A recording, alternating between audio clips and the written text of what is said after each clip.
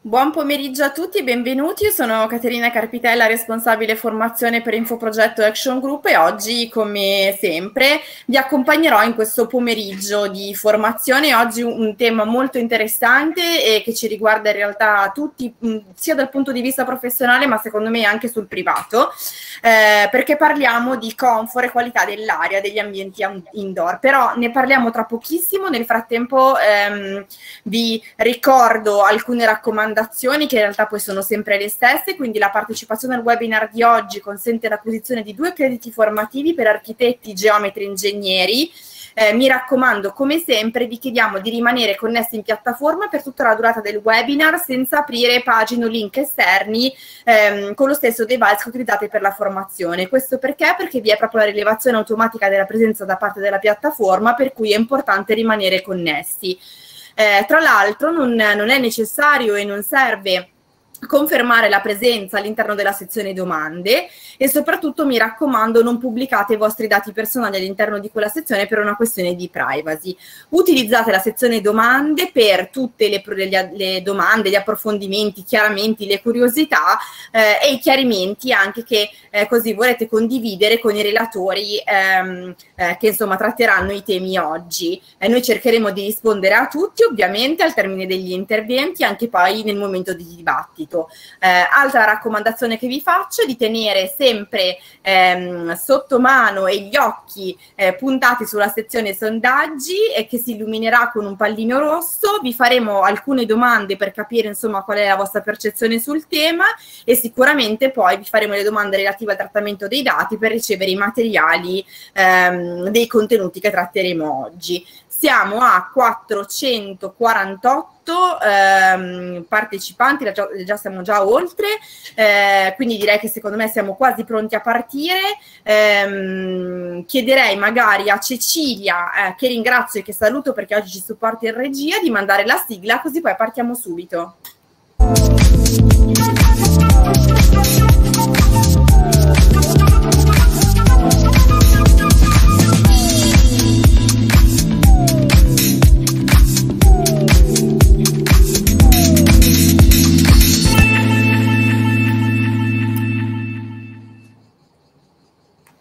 Eccoci, bene, bentornati.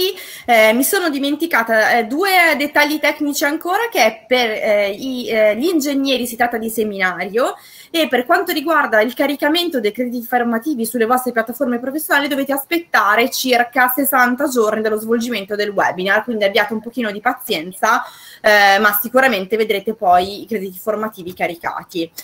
Eh, dicevo, dicevo, tema molto interessante, quello di cui parleremo oggi, comfort e qualità dell'area degli ambienti indoor. In realtà abbiamo, mh, tra l'altro, ormai dappertutto eh, pubblicità eh, e, e, promozione rispetto a, a, a, come si deve purificare l'aria, eh, a come insomma si deve trattare l'aria, mh, però... Ehm, probabilmente eh, c'è tanto fumo eh, e poi bisognerebbe capire effettivamente ciò che funziona e ciò che deve essere fatto per migliorare eh, sia gli ambienti dal punto insomma un po' mh, per pensare alla salute no? di coloro che poi gli ambienti gli vivono ma pensando anche proprio all'edificio in sé eh, quindi a quella che è proprio la salute dell'edificio eh, ma eh, oggi ne parleremo in realtà con tre esperti eh, e quindi li presento subito. Il primo è Roberto Perego, Vortice SPA, tra l'altro ringraziamo anche Vortice perché ovviamente è il partner tecnico di oggi, quindi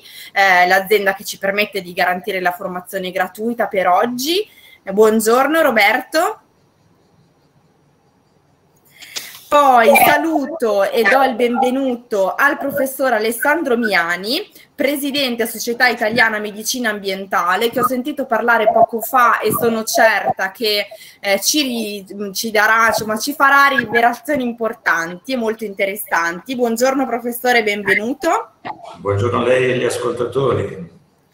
E salutiamo e diamo il benvenuto anche ad Andrea Mantovani, eh, membro dell'Associazione Italiana di Termografia e titolare di Sinidi SRL, che ovviamente si occupa anche di diagnostica immobiliare. Buongiorno Andrea. Buongiorno a tutti, grazie, buongiorno. Allora, se siete d'accordo, io partirei subito e quindi chiederei a Roberto di stare con me sul palco e invece eh, ad Andrea e Alessandro in realtà non di scendere dal palco ma di rimanere insomma in silenzio perché cominciamo con insomma gli interventi, cominciamo a trattare il tema di oggi eh, e sicuramente ci sarà secondo me anche un, un, buonissimo confronto tra i relatori che sono presenti. Eh, quindi Roberto, se sei d'accordo, partiamo subito. Senz'altro. Proviamo, eccoci qua, condividiamo la presentazione. Spero si veda. Allora, ancora no. Non si vede? No. Io Lisa, allora ritentiamo in un altro. Riproviamo. Eh, quindi condividi, condividere lo schermo, schermo intero, clicco qui, clicco lì, è partito. No, si vedeva quasi e poi tornate indietro, come mai? Non lo so, adesso riproviamo. Magari più lentamente, Roberto. Perfetto. Condividi. Perfetto, mettila sulla schermo intero. Benissimo. Ora si vede bene? Perfetto, sì, si vede benissimo. Con Roberto cominceremo a capire quelle che sono le strategie per il controllo degli inquinanti presenti nell'aria, indoor ovviamente, e parleremo di ventilazione meccanica controllata. Quindi ti lascio. Benissimo. Grazie, buon pomeriggio a tutti da parte mia, eh, benvenuti a questo webinar in cui affronteremo appunto il tema del comfort e della qualità dell'aria negli ambienti confinati eh, tema di assoluta eh, attualità. Io sono Roberto Perego, eh, sono un eh, dipendente Vortice, eh, mi occupo in Vortice di ehm, tutto quello che riguarda il settore tecnico-commerciale, quindi dal prevendita al post-vendita, e eh, oggi vi parlerò appunto di questa tecnologia che riguarda un po' l'aria, perché l'aria è un po' il leitmotiv di, di Vortice, perché giustamente uno può vivere settimane senza mangiare, qualche giorno senza bere, ma soltanto pochi minuti senza respirare. Quindi l'aria fa assolutamente parte della nostra vita ed è importantissima per la nostra vita. Soprattutto l'aria negli ambienti confinati, eh, perché appunto eh, si parla sempre di più di eh, qualità dell'aria interna, eh, fatto che è legato alla presenza di inquinanti, sia chimici che fisici che biologici, che sono poco presenti oppure completamente assenti nell'aria esterna. E questo è un problema appunto, come dicevo, di grandissima attualità perché noi passiamo tantissimo del nostro tempo all'interno di ambienti confinati. Fino al 90% della nostra vita la possiamo eh, trascorrere negli ambienti chiusi, addirittura il 30-40% nei luoghi di lavoro. E in questi luoghi noi vogliamo stare bene, ma per stare bene dobbiamo far sì che vengano rispettati alcuni parametri di tipo fisico fondamentalmente. Quindi una temperatura assolutamente di comfort, dai 20 ai 25 gradi, in dipendenza un po' da come siamo vestiti, da che attività facciamo, dalla sensibilità personale di ciascuno di noi, un grado di umidità relativa centrato nell'intorno del 50%, quindi non troppo limitato ma nemmeno eccessivo per poter avere appunto una sensazione di benessere, una velocità dell'aria, di spostamento dell'aria all'interno di questi locali il più limitato possibile, nelle zone occupate si parla di 0,2 più o meno metri al secondo come velocità, in modo tale da non avere quello che è il cosiddetto effetto spiffero, comunque la velocità dell'aria troppo fastidiosa per eh, le persone che occupano questi eh, locali, un livello assolutamente di eh, inquinamento acustico il più basso possibile, ma soprattutto anche avere buon, un buon livello di eh, qualità eh, dell'aria. Nei luoghi chiusi, appunto, eh, noi abbiamo il problema di controllare questo inquinamento eh, presente nell'aria che eh, respiriamo e che viviamo. E questo inquinamento non proviene tante volte da fonti esterne, ma eh, molto spesso è causato da fonti interne, quindi dalla nostra presenza, dalla presenza degli animali che ci fanno compagnia, dalle nostre abitudini, come possono essere l'abitudine di fumare piuttosto che di cucinare, ma anche da tutto quello che ci circonda, quindi eh, i vari tessuti, i tappeti, i mobili, i muri che possono sprigionare delle sostanze eh, dannose o comunque che vanno a inficiare la qualità dell'aria e da tutto quello che noi utilizziamo per tenere puliti questi ambienti, quindi prodotti di consumo come per esempio i detersivi che possono contenere anch'essi delle sostanze inquinanti. Eh, senza un adeguato controllo del ricambio dell'aria possono raggiungere questi inquinanti dei livelli di eh, inquinamento superiori di molte volte, alcune fonti dicono 5 volte, alcune altre addirittura 9 volte, eh, livelli superiori rispetto a quelli che riscontriamo invece nell'aria esterna.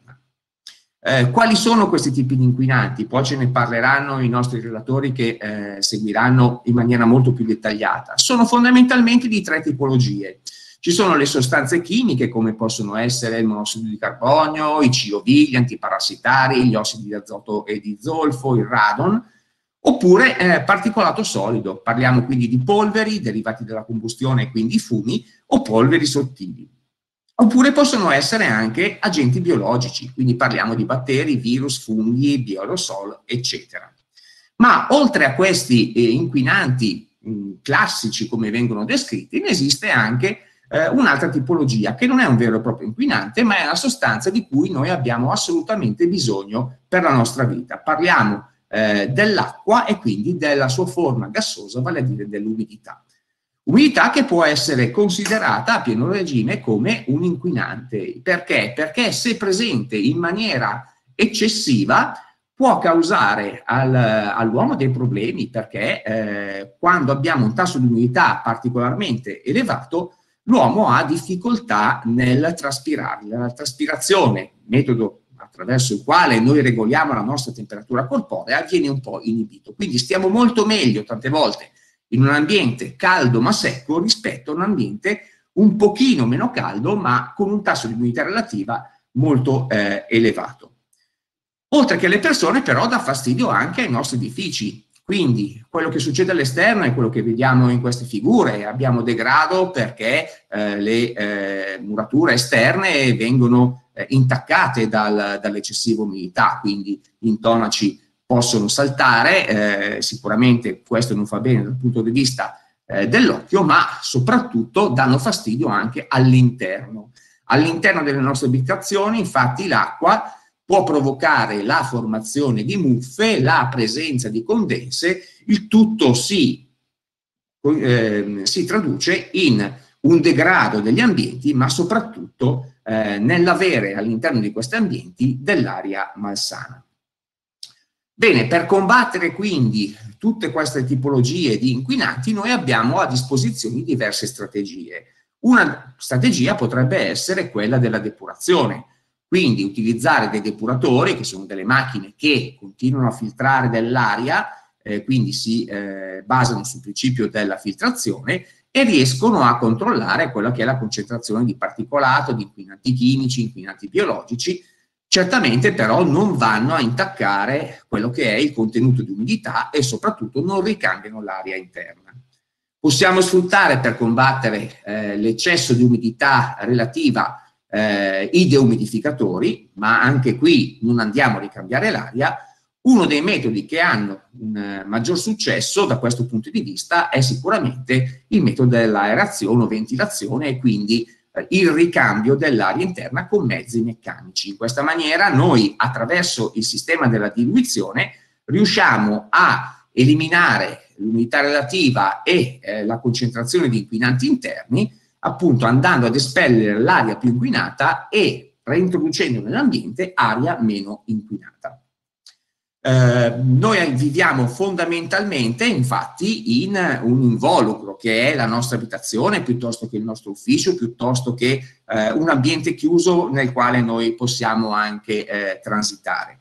E questo ambiente dal punto di vista energetico deve essere assolutamente impermeabile. Per questo l'involucro non respira e non deve respirare per avere appunto il minor spreco energetico possibile.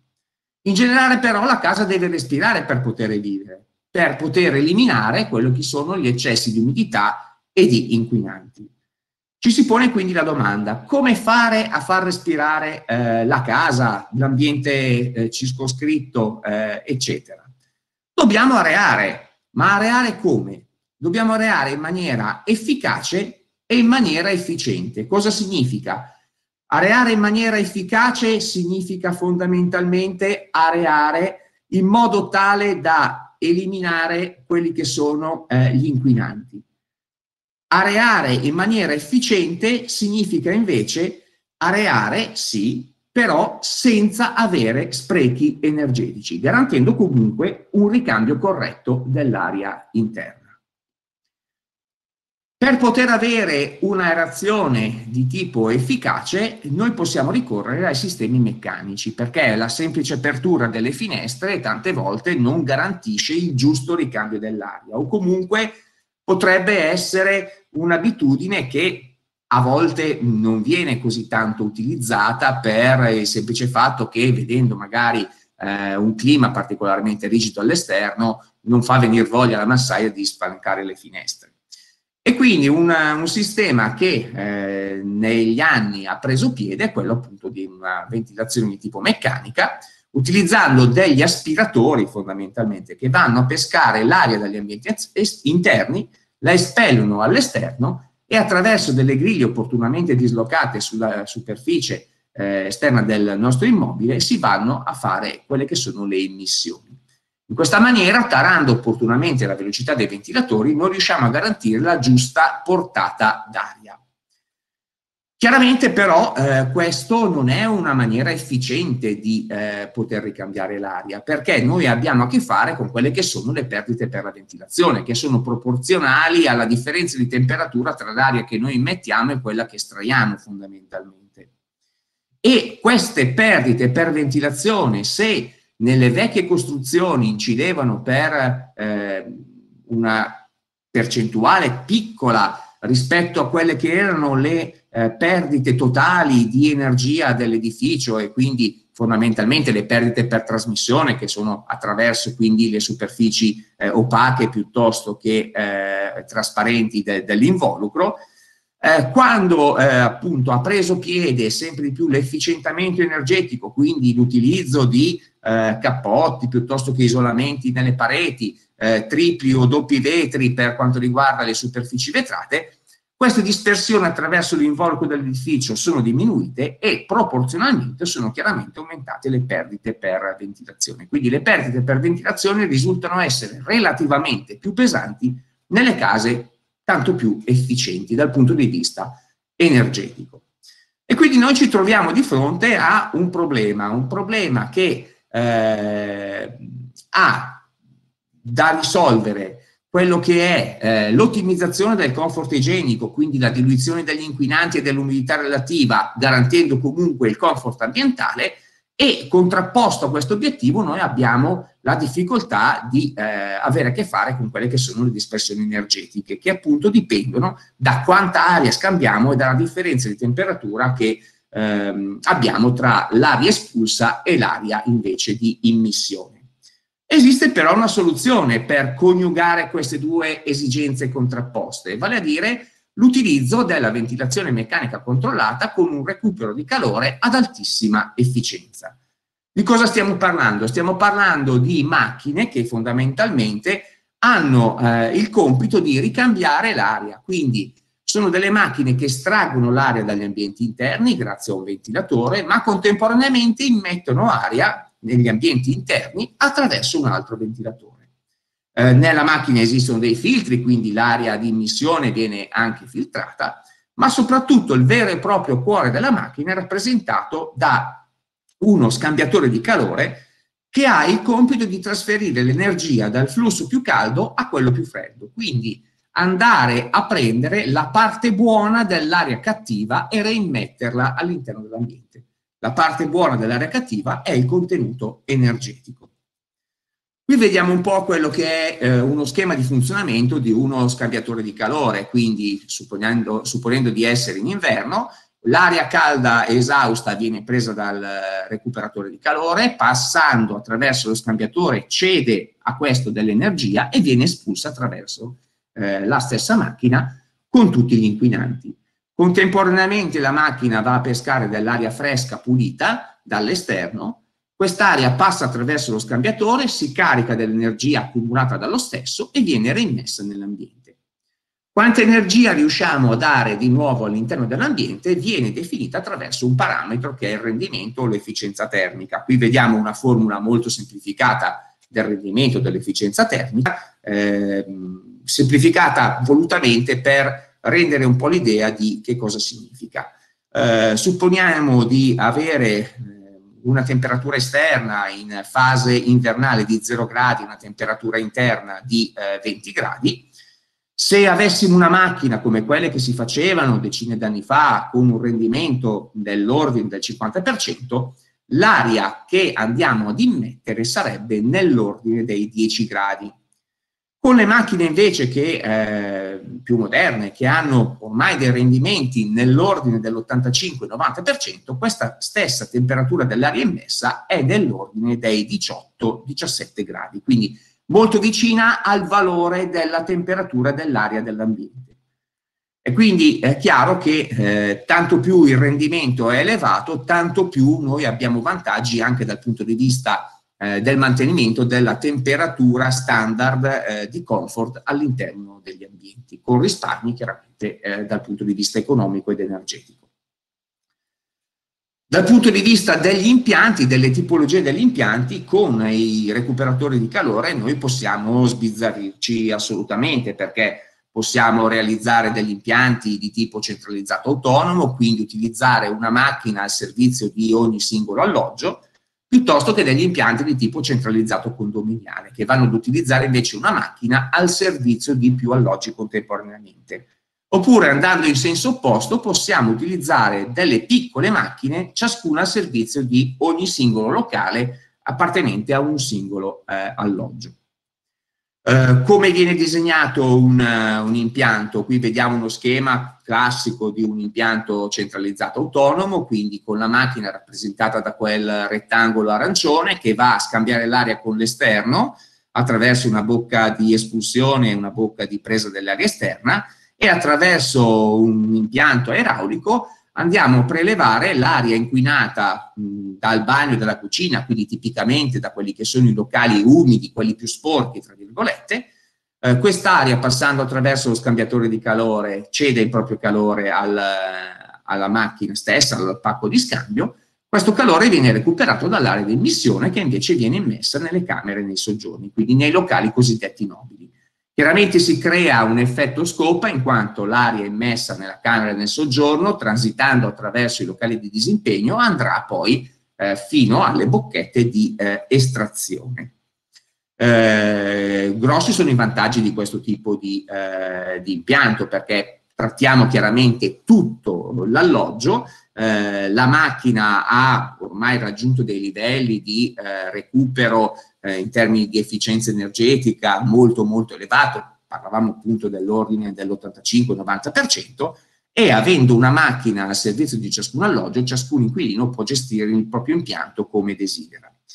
Esistono due fattori su cui eh, fare alcune considerazioni, vale a dire eh, la necessità di dover posizionare delle canalizzazioni per collegare la macchina alle bocchette di emissione ed estrazione e chiaramente di avere uno spazio all'interno dell'alloggio per poter posizionare eh, la macchina stessa.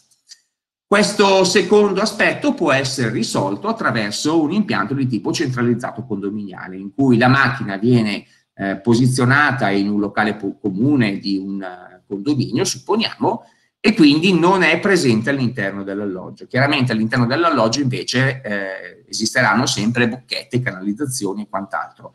Sono impianti che hanno avuto una buona stagione qualche anno fa eh, in termini di successo eh, tecnico e eh, commerciale, adesso si tende eh, invece a tornare più verso il, il sistema di tipo eh, autonomo. Comunque ha sempre una, una validità. Entrambi questi due sistemi però, dicevamo, hanno il problema delle canalizzazioni. Per poter risolvere il problema delle canalizzazioni si può invece utilizzare una tipologia di impianto di tipo decentralizzato, quindi andare a posizionare delle piccole macchine a cavallo delle pareti perimetrali che vanno a scambiare l'aria singolarmente in ciascun locale. Chiaramente nel bagno e nella cucina queste macchine con recupero di calore possono a volte essere sostituite da dei semplici estrattori, quindi bisognerà chiaramente valutare volta per volta eh, la eh, validità o l'opportunità di poter utilizzare un tipo di macchina o un tipo eh, invece di eh, estrattore anziché di recuperatore di calore.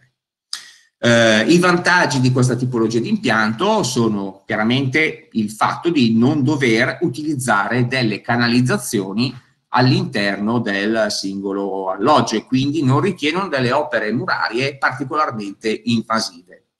Eh, questo è un impianto che può essere applicato anche a singolo locale e quindi molto spesso quando noi abbiamo dei problemi eh, di muffa o di condensa concentrato magari soltanto in una camera o piuttosto in un locale particolare, noi possiamo andare a intervenire solo esclusivamente in, in quel locale anziché in tutto, in tutto l'ambiente. L'efficienza dal punto di vista energetico di queste macchine è leggermente più bassa, anche se eh, sono stati fatti passi da gigante anche per l'efficienza di queste macchine, quindi eh, si riesce tranquillamente ad arrivare a superare il 70-75% di recupero di calore. Eh, c'è la problematica eventualmente se mal posizionate di un ricambio dell'aria non eh, così efficiente come avviene nel caso della ventilazione meccanica controllata con macchine di tipo centralizzato, però appunto eh, l'impianto potrebbe risultare molto più semplice da eh, collocare, ma soprattutto utilizzabile anche in fase di ristrutturazione abbastanza leggera. Quindi vado a rifare il cappotto, vado a rifare eh, gli infissi, eh, insorgono, come classicamente insorgono, problematiche legate alla formazione di muffe, alla formazione di condense, perché non c'è più quel ricambio che veniva garantito dallo spiffero del vecchio infisso, e eh, di conseguenza con questo tipo di eh, macchine noi andiamo eh, a risolvere questa problematica. Parlavamo delle eh, canalizzazioni. Le canalizzazioni possono essere posate seguendo due strategie fondamentalmente, quindi eh, posandole a controsoffitto, facendo delle dorsali con degli stacchetti come vediamo nel, nell'immagine di sinistra, oppure posarli eh, sotto pavimento con dei canali appositi che possano resistere alle sollecitazioni dovute al carico eh, del massetto e del pavimento, eh, quando invece si vanno a posare appunto nascoste nelle opere murarie, come nell'immagine di destra. Per vedere un pochino più nel dettaglio, vediamo due casi che eh, abbiamo realizzato di recente. Tutte e due si riferiscono a delle palazzine più o meno simili. Questa eh, palazzina sita a Pinerolo in cui la strategia scelta è stata quella di utilizzare una distribuzione a controsoffitto. Quindi le macchine eh, su scelta del progettista sono state installate sul terrazzo. Chiaramente non è una posizione particolarmente eh, ideale in quanto queste sono macchine che per meglio lavorare devono stare in ambienti perlomeno non esposti all'esterno, quindi eh, coperti, chiusi, eh, possibilmente anche riscaldati. Eh, a questo, in questo caso particolare, si è sopperito utilizzando delle, eh, dei sistemi di isolamento, quindi creando queste nicchie isolate di materiale molto spesso per poter garantire delle temperature all'interno della macchina consone a funzionare correttamente. Inoltre, in questo caso si è inserito anche una batteria idronica a eh, valle della macchina stessa per poter fare un post trattamento di eh, riscaldamento invernale e raffrescamento estivo. Come distribuzione si sono utilizzate invece, ripeto, delle canalizzazioni eh, con degli stacchi attivi che si affacciano eh, sulle varie camere. Eh, canalizzazioni che sono state isolate opportunamente per la presenza appunto di una batteria che lavorando anche in freddo in fase estiva eh, poteva creare senza eh, l'isolamento della condensa sulla superficie esterna della canalizzazione stessa. Viceversa, una scelta diversa è stata fatta in questa palazzina a Lissone, in cui la distribuzione è eh, stata pensata eh, utilizzando delle canalizzazioni, che sono quei tubi verdi che vedete nell'immagine più a destra, posizionate a parete o a pavimento.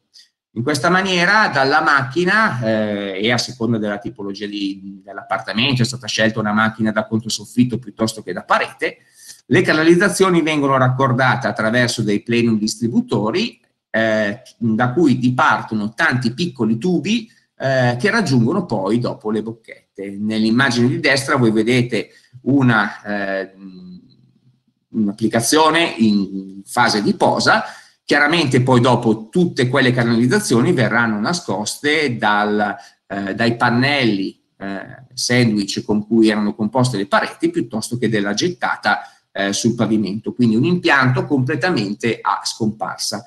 In questo caso non si hanno neanche riduzioni di altezze perché non c'è bisogno di dover fare chiaramente controsoffitti.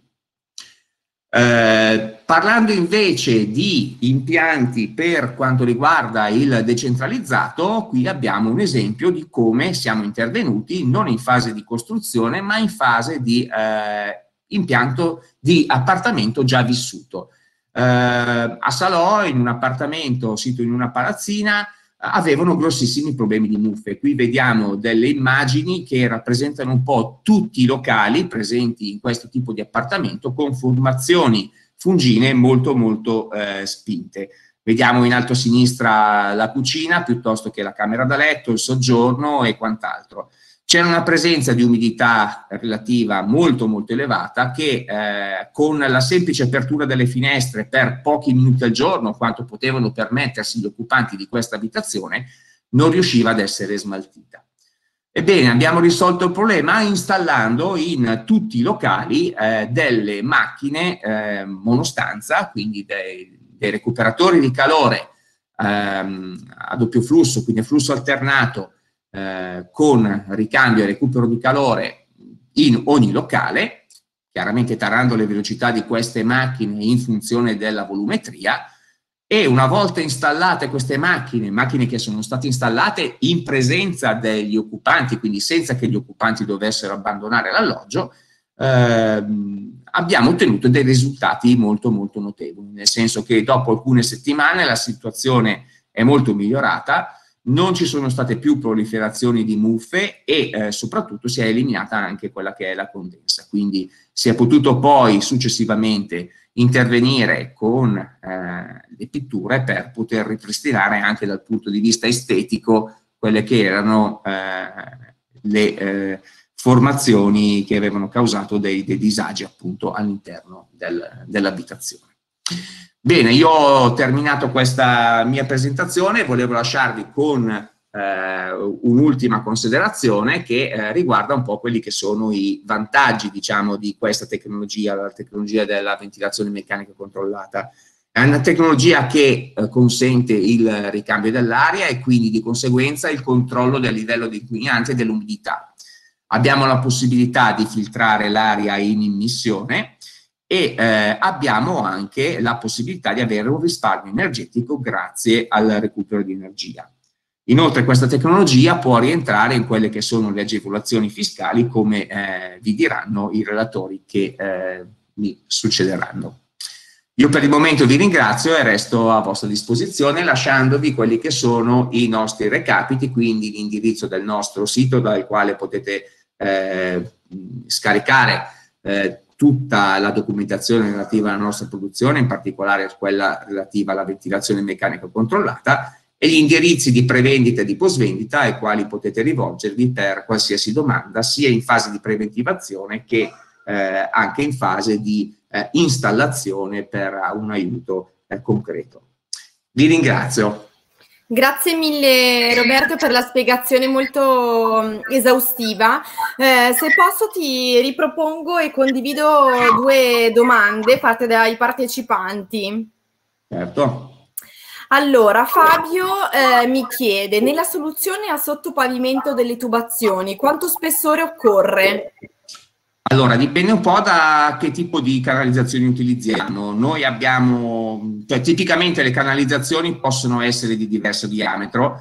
La più utilizzata è un diametro 75 esterno, ma c'è la possibilità di utilizzare anche delle canalizzazioni fino a 90 mm di diametro esterno, oppure anche delle canalizzazioni piatte quando uno ha un particolare eh, bisogno di mantenere quanto più basso possibile eh, l'altezza delle canalizzazioni oppure eh, c'è la, la, possibilità anche che queste canalizzazioni si possano sovrapporre l'una all'altra e quindi mantenere quanto più basso possibile l'altezza di queste canalizzazioni.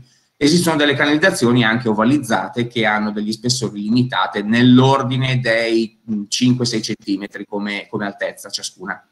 Grazie. E, ehm, e poi chiedono ancora, nella soluzione monostanza, eh, occorre predisporre anche la linea elettrica? Una linea elettrica? Sì, assolutamente, è l'unica, mm, è, l'unica precauzione da portare, quindi alla macchina va collegata soltanto l'elettricità, non c'è bisogno invece di fare eh, una, mm, un collegamento per lo scarico della condensa, perché questo avviene attraverso la macchina esterna verso l'esterno qualora eh, si dovesse formare della, della condensa. Ma il principio di funzionamento è tale per cui la formazione di condensa all'interno di queste macchine monostanza difficilmente viene raggiunta. Bene, poi c'è una domanda relativa alle agevolazioni fiscali, ma so che ne parlerà Andrea dopo, quindi secondo me possiamo eh, magari insomma mh, mm, eh, affrontarla più tardi o magari nel dibattito finale. Ce ne sono ancora per te. Eh, Pietro dice qual è il comportamento dell'impianto in reazione al rumore della macchina della circolazione forzata del fluido? Eh, in inquinamento acustico, allora, sì. le macchine, è chiaro, eh, devono essere isolate da eh, due punti di vista. Uno è eh, relativamente al, all'emissione per il raggiamento, quindi eh, qualora si vada a mettere la macchina tipicamente in un controsoffitto, parlando di un appartamento di piccola metratura, occorre che eh, il controsoffitto o comunque nell'intorno della macchina ci vengano posizionate delle dei materassini fonoassorbenti per evitare appunto l'irraggiamento acustico, ma soprattutto occorre che perlomeno nel primo tratto tra la macchina e il piano di distribuzione o comunque nel primo tratto di canalizzazione vengano utilizzati dei canali eh, acustici, vengono cosiddetti, quindi che fungano un po' da silenziatore. Non solo, per evitare poi anche la telefonia, quindi quei disturbi che possono crearsi tra un locale e l'altro, è bene sempre eh, avere delle precauzioni tipo isolare internamente i plenum, isolare le bocchette dal punto di vista acustico. Ci sono diversi uh, accorgimenti che devono essere però studiati caso per caso. Non, possono, non si può certo. generica, caso per caso però le, le questioni possono essere benissimo risolte. Allora, ehm, Roberto, ci sono anche tante altre domande, però in realtà il tempo in questo momento non è tantissimo, quindi io te ne faccio un'altra che è l'ultima, che riguarda la manutenzione, cioè eh, diciamo qual è la manutenzione necessaria per un impianto di ventilazione meccanica controllata? Allora, quella standard è fondamentalmente la sostituzione dei filtri. I filtri. Devono essere accessibili innanzitutto, quindi spesso e volentieri vengono messe le macchine all'interno di un controsoffitto chiudendolo completamente senza lasciare delle botole di ispezione e quindi non si ha neanche la possibilità di poter accedere alla macchina neppure per cambiare il filtro. Figuriamoci in caso di guasto che cosa può succedere. Quindi filtri sicuramente, filtri che devono essere cambiati mediamente ogni sei mesi, massimo un anno tanto per, per darci un'idea. E a lungo termine anche comunque un'igienizzazione, una pulizia delle canalizzazioni è assolutamente certo. Allora, io ti chiederei eventualmente di continuare magari a rispondere alle altre domande durante i prossimi interventi direttamente in forma scritta nella chat e poi magari ci lasciamo eventualmente io, eh, un, un, paio di domande poi a cui tu rispondi in forma scritta da condividere mh, anche con, eh, con, la platea, così almeno eh, andiamo avanti perché siamo un po' in ritardo. Eh, però insomma hanno tante domande, quindi magari puoi rispondere direttamente in chat. Volentieri. Grazie mille Roberto, ci vediamo dopo. Adesso procediamo ehm, con il professor Miani. Eccolo che vedo. Ecco. Bene. Eh, benvenuto. Eh, adesso cerchiamo di capire quali sono i principali inquinanti eh, indoor di origine chimico-fisica, anche di origine biologica. Cercheremo di capire che cosa e quali sono gli strumenti chiaramente per ehm, eh, gestire eh, questo problema della, insomma, de- della, qualità dell'aria negli ambienti. Quindi, mh, professore, so che lei non, non, inizia subito con la presentazione, giusto? Esatto, preferirei la... dare un intro, inquadrare un po' il tema anche a livello sanitario con qualche dato, poi passiamo alla presentazione, ma magari continuo ad aggiungere dati e informazioni al di là di quello che uno trova già scritto sulla presentazione. Bene, grazie. Allora io la lascio intervenire. Tra l'altro siamo arrivati a 574 partecipanti, quindi tantissime con persone connesse in piattaforma. Ricordatevi sempre la ehm, sezione sondaggi perché ovviamente avremo eh, insomma dei sondaggi pubblicati che vi chiederemo di rispondere. Prego, professore. Perfetto. Allora, innanzitutto io sono Alessandro Miani, sono professore di prevenzione ambientale alla Statale di Milano e sono presidente della Società Italiana di Medicina Ambientale. Uno perché medicina con la qualità dell'aria? Perché come vedrete tra poco ci sono moltissime interazioni tra ciò che respiriamo e la nostra salute. La medicina ambientale è una branca della medicina ed è fatta da un approccio assolutamente multidisciplinare, tant'è che con noi lavorano anche moltissimi ingegneri, moltissimi architetti per restare sul pubblico che oggi ci ascolta, ma anche economisti, giuristi, medici, biologi, geologi e via dicendo, atta a far sì che ciò che ci circonda e ciò che ci pervade, quindi anche ciò che mangiamo, beviamo e respiriamo soprattutto, non diventi un fattore determinante di malattia, infortunio e morte prematura. Per l'Organizzazione Mondiale della Sanità il 25% di tutte le patologie, di qualunque malattia e di qualunque causa di morte nel mondo è dovuta a fattori ambientali. Ebbene, noi ci concentriamo su quelli che possiamo chiamare fattori ambientali modificabili ovvero sia che grazie al nostro intervento, alla nostra cura, alla nostra attenzione o anche all'introduzione, come in questo caso, di tecnologie, possiamo ridurre e mitigare il rischio dei cosiddetti determinanti ambientali e sociali della salute, di cui l'inquinamento atmosferico è la più importante emergenza a livello planetario. Considerate che nel mondo ogni anno, stando agli ultimi rapporti, muoiono prematuramente 7 milioni di persone proprio dovute all'inquinamento atmosferico. In Europa circa poco più di 500.000 e in Italia 90.000 sono i decessi prematuri all'anno, stando all'ultimo rapporto dell'Agenzia Europea per l'Ambiente riferito al nostro Paese.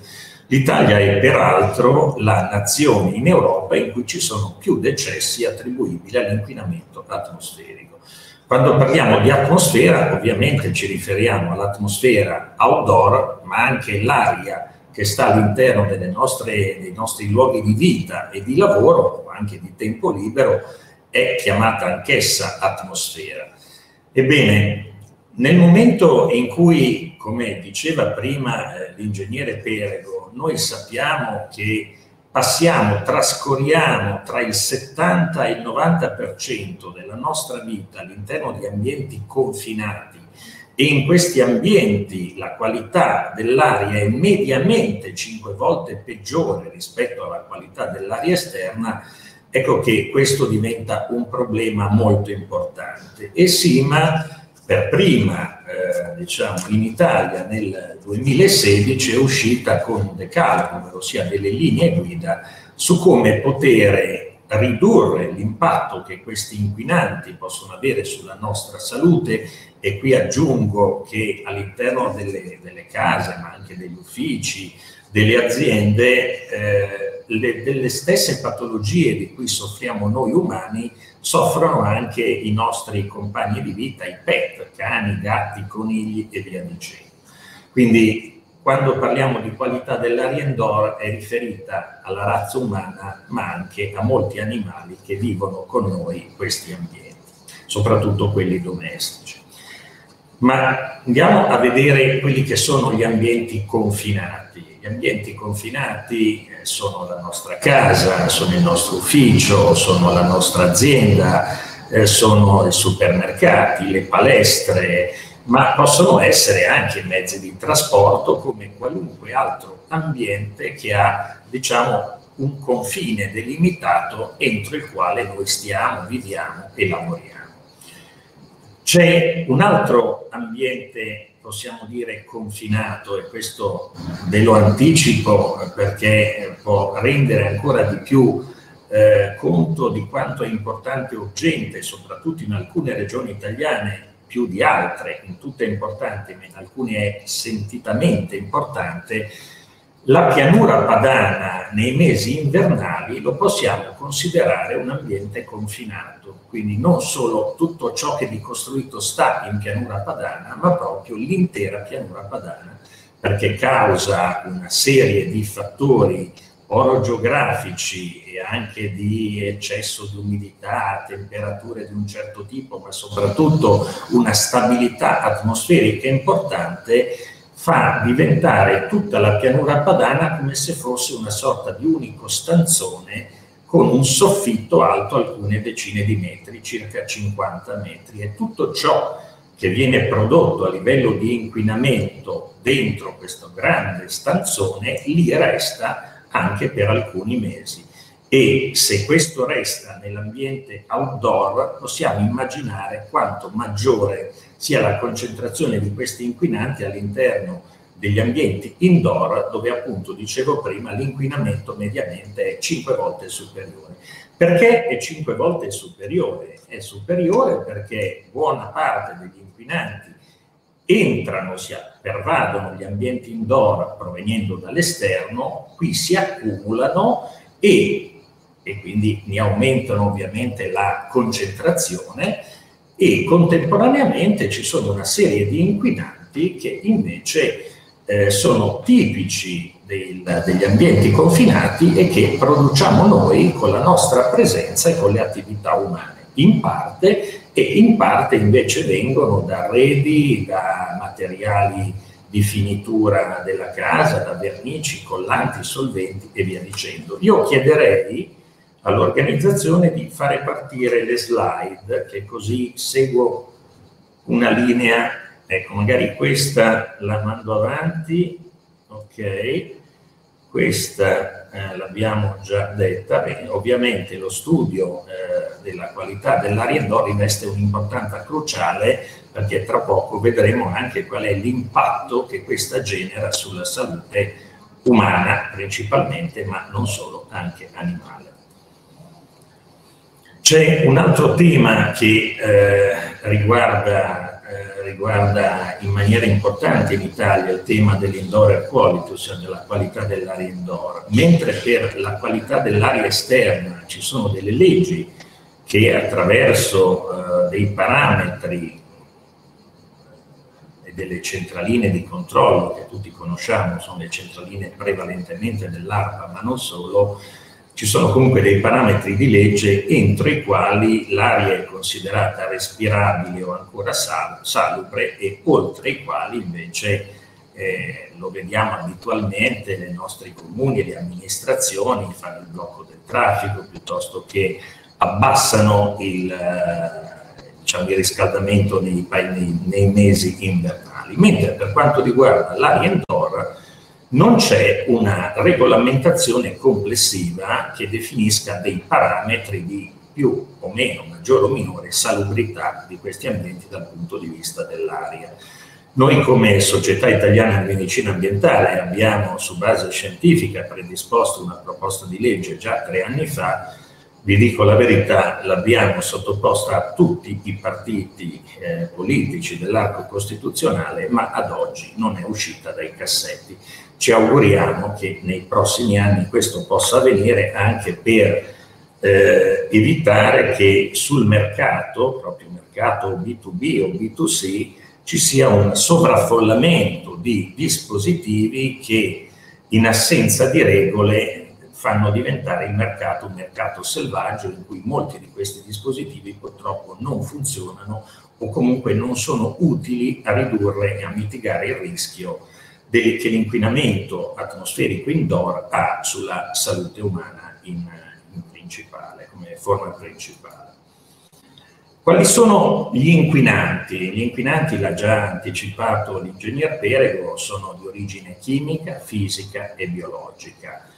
E eh, al primo posto ci sta l'anidride carbonica, noi respiriamo e espirando emettiamo CO2 monossido di carbonio, biossido di azoto, non solo ossidi di azoto in generale che vengono dall'esterno e che sono prevalentemente considerati traccianti e vengono utilizzati anche a livello scientifico come traccianti del traffico veicolare, biossido di zolfo, composti organici volatili. Questi sono prevalentemente generati all'interno con le attività di cucina piuttosto che con le attività di igiene e pulizia della casa, l'utilizzo di detersivi, quindi di sostanze chimiche che poi li sprigionano.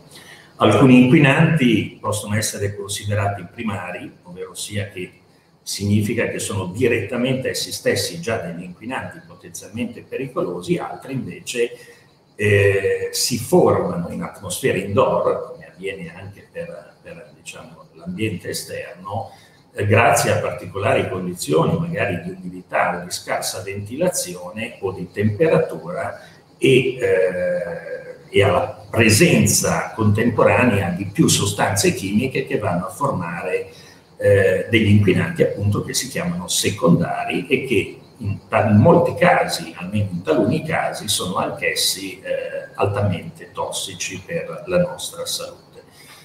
Altro inquinante importante è la formaldeide, poi c'è il benzene, viene prevalentemente dall'esterno, gli idrocarburi policiclici aromatici, quando noi eh, abbiamo un, uh, un, camino, soprattutto se aperto, piuttosto che eh, una stufa pellet, produciamo molti l'ozono, il radon, che vedete in grassetto come anche gli ftalati, perché su questo vorrei fare rapidamente un focus. Poi ovviamente il PM, particolato atmosferico, noi conosciamo il PM10, il PM2.5, ma il PM indica la dimensione aerodispersa di queste sostanze che possono essere in forma solida, liquida o mista e eh, quindi non è che va a identificare di che cosa stiamo parlando, ma solo della sua dimensione. Quindi possiamo arrivare anche allo 0,00 e via dicendo, in questo caso si parla di polveri fini o ultrafini o nanopolveri. Ovviamente adesso qui io sto leggendo con voi, ma eh, quando si parla di fumo di tabacco va inserito anche se nei luoghi, almeno quelli aperti al pubblico, sappiamo che è severamente vietato, ma lo stesso vale anche per le sigarette da burning, perché anche queste comunque producono delle sostanze che si liberano nell'atmosfera e possono essere tossiche se inalate o disturbanti se inalate da altre eh, persone presenti in quell'ambiente. Pesticidi, amianto, purtroppo l'Italia nel 1990 è uscita la legge che eh, bloccava la produzione e l'utilizzo dell'amianto, quindi soprattutto nel formato Ethernet per le costruzioni e per eh, anche, anche, in altri settori, ma nonostante questo e nonostante un piano nazionale amianto che è stato eh, diciamo, rinnovato e rinforzato l'anno scorso dal, dall'ex, oramai ex eh, ministro dell'ambiente, il generale Costa, l'Italia ha ancora eh, numeri molto importanti di presenza di amianto, soprattutto sotto forma di Eternit, e ci sono moltissimi edifici, soprattutto scolastici, si calcola oltre 350.000 bambini che oggi in Italia eh, studiano eh, in scuole in cui è presente ancora quindi siamo in attesa di bonifiche e speriamo che anche questo possa pian pianino raggiungere una, una, una parola fine. Abbiamo in Italia solo per l'amianto 6.000 decessi prematuri all'anno attribuibili appunto a questa fibra killer. Ftalati e radon, perché li ho sottolineati? Dovrei sottolineare anche la CO2, l'anidride carbonica, ma vi do una qualche informazione Partiamo dal radon. Il radon è un gas naturale, è un gas, eh, chiedo scusa, è un gas radioattivo incolore e inodore che emerge naturalmente eh, dal terreno e che ovviamente in ambiente esterno entra in atmosfera e viene diluito, mentre all'interno eh, degli edifici, soprattutto quegli edifici di antica fattura in cui magari mancano le fondamenta o le fondamenta sono antiche e stesso vale anche per diciamo, tutto quello che riguarda la parte infrastrutturale. Io non sono un ingegnere, un architetto, quindi mi scuserete se non uso dei termini tecnici su questo, può anche risalire dal piano terra e arrivare anche a piani più elevati.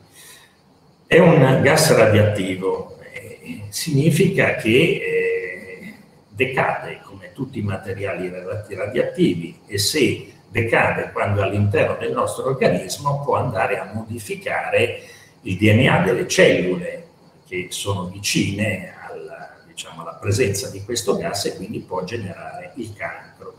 Ecco che questo è un gas pericoloso in casa due volte di più o comunque negli ambienti chiusi perché si lega molto facilmente alle polveri sottili e legandosi alle polveri ovviamente noi respiriamo le polveri che possono a seconda della loro dimensione fermarsi nei bronchi alti piuttosto che nei bronchioli fino ad arrivare agli alveoli polmonari e eh, dagli alveoli polmonari passare anche la barriera ematica, ma poi questo lo vediamo tra poco. E quindi nel momento in cui abbiamo un gas che si è legato a una sostanza liquida o solida o entrambe, che è un PM, quindi una polvere fine, ha il tempo di decadere, di eh, liberare delle radiazioni, le cui più note si chiamano radiazioni alfa, e quindi di interagire con il nostro organismo.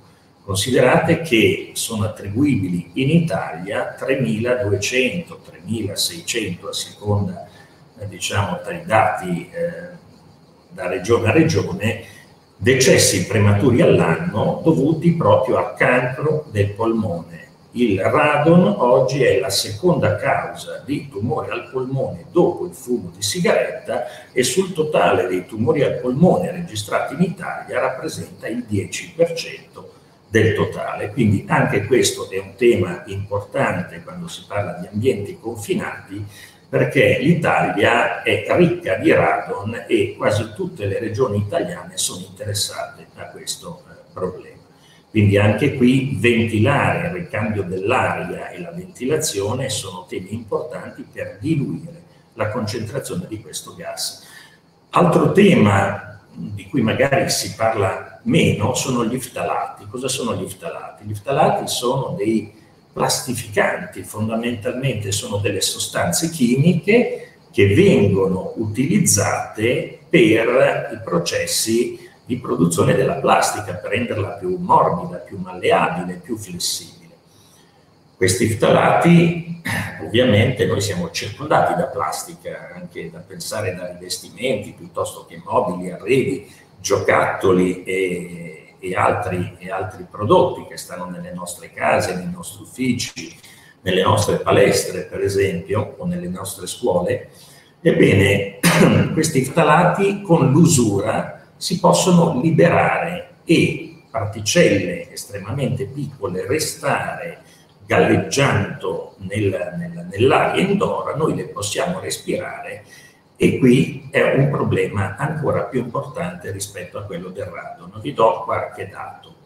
È un problema più recente il fatto di essere andati a vedere se c'erano degli ftalati, quindi sono studi più recenti, però oramai sono eh, diventati di norma. Gli ftalati causano dei problemi, sono dei distruttori endocrini, ovvero sia interferiscono col nostro sistema endocrino creando dei problemi. In Italia oggi, questi sono gli ultimi dati, ftalati respirati e ftalati diciamo bevuti o mangiati, perché li troviamo anche nei packaging plastici che contengono, non so, le, le monodosi di cibo piuttosto che nel PET cui, eh, in cui è contenuta l'acqua piuttosto che il latte, piuttosto che altre bevande, eh, generano oggi in Italia sui nuovi nati, quindi parliamo, interessa soprattutto i bambini e l'età adolescenziale, un bambino su 77 in Italia nasce con un ritardo più o meno grave del neurosviluppo e uno su 55 con un disturbo dello spettro autistico.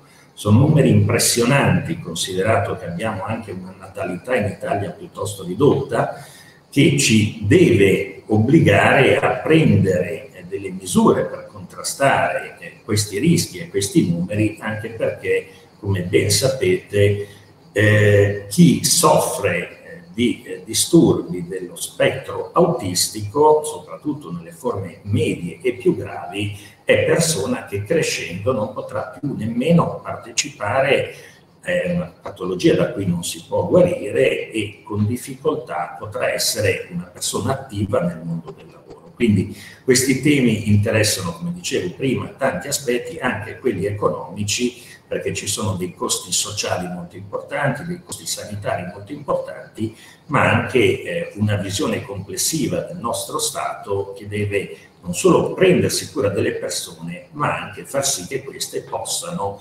eh, possano partecipare attivamente alla propria vita e eh, al benessere complessivo del paese producendo del PIL. Io chiedo scusa, sono abituato, come dicevo, a parlare a braccio, quindi le slide le seguo a fatica, vediamo qui, abbiamo parlato di questo. Eh, c'è eh, l'altro tema, sull'anidride carbonica tornerò eh, tra non molto, eh, siamo in un periodo pandemico, quindi un altro tema molto importante è quello dei contaminanti di origine biologica, batteri, virus, pollini, spore, feci di acari che poi sono eh, prevalentemente assieme a composti allergenici eh, quelli che ci danno dei problemi più frequenti, residui biologici.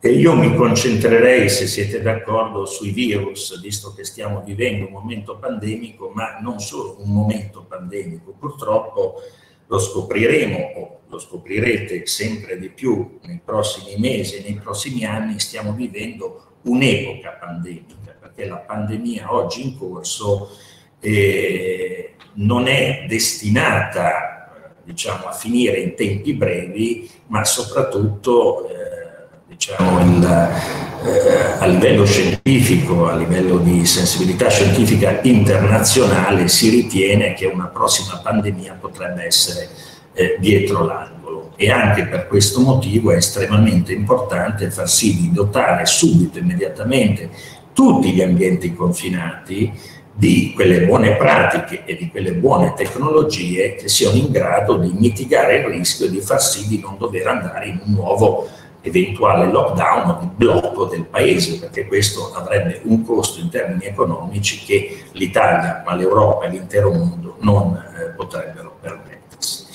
E quindi, per esempio, nel caso dei virus, volendo fare una, eh, un passaggio diretto sul tema della ventilazione meccanica controllata, come SIMA abbiamo fatto per esempio degli studi su questo, alcuni già pubblicati, e eh, questi studi che cosa ci hanno, ci hanno, detto in sintesi? Che se noi immettiamo dell'aria all'interno di un ambiente confinato, ovviamente con una quantità calibrata rispetto a quell'ambiente, e contemporaneamente estraiamo dell'aria viziata, in quell'ambiente c'è uno o più soggetti che sono infetti e che quindi magari tossiscono, starnutiscono, liberando nell'ambiente queste goccioline, questo aerosol di goccioline che se siamo infetti può contenere il virus, ebbene se noi utilizziamo VMC in questi ambienti possiamo ridurre il rischio di infettarci del 99,6%.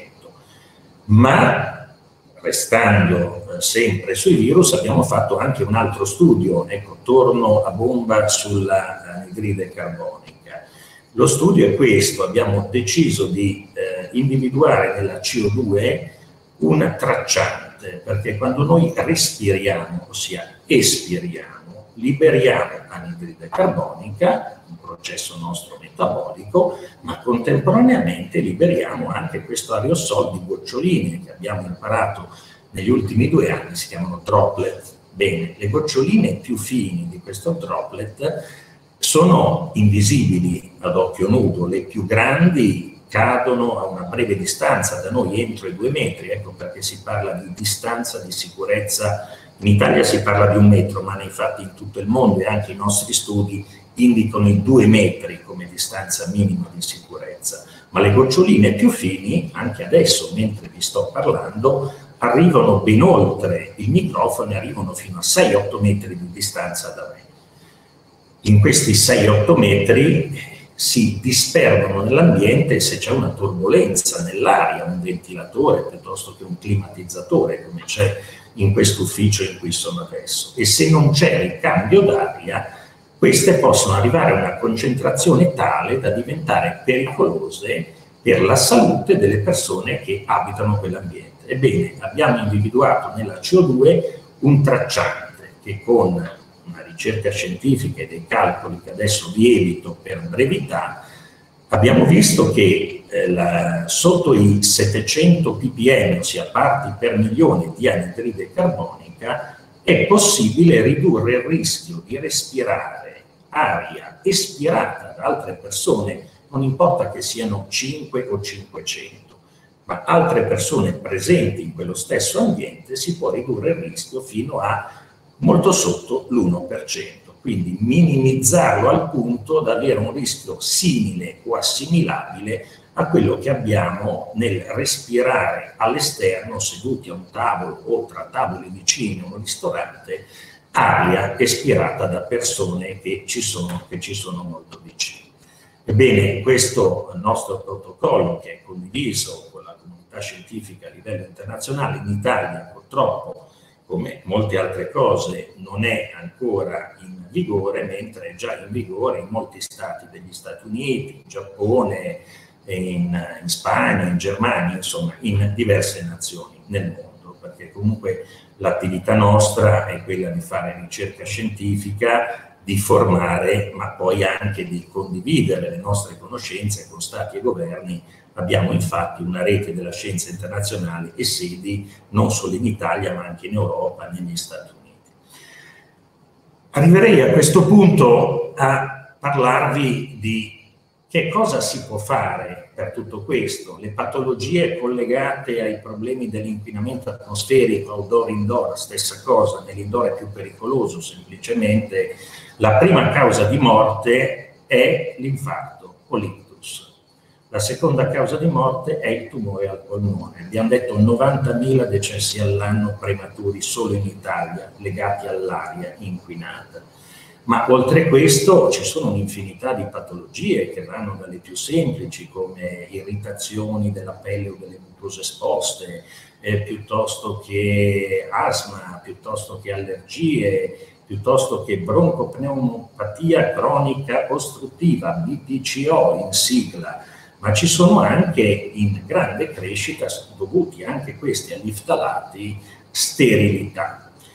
Ebbene, eh, cosa possiamo fare e dove noi cittadini o comunque eh, professionisti possiamo agire? Noi possiamo agire eh, dove viviamo, dove lavoriamo, dove passiamo il nostro tempo libero e dove peraltro, come dicevo prima, passiamo la gran parte della nostra vita tra il 70 e il 90% della nostra vita.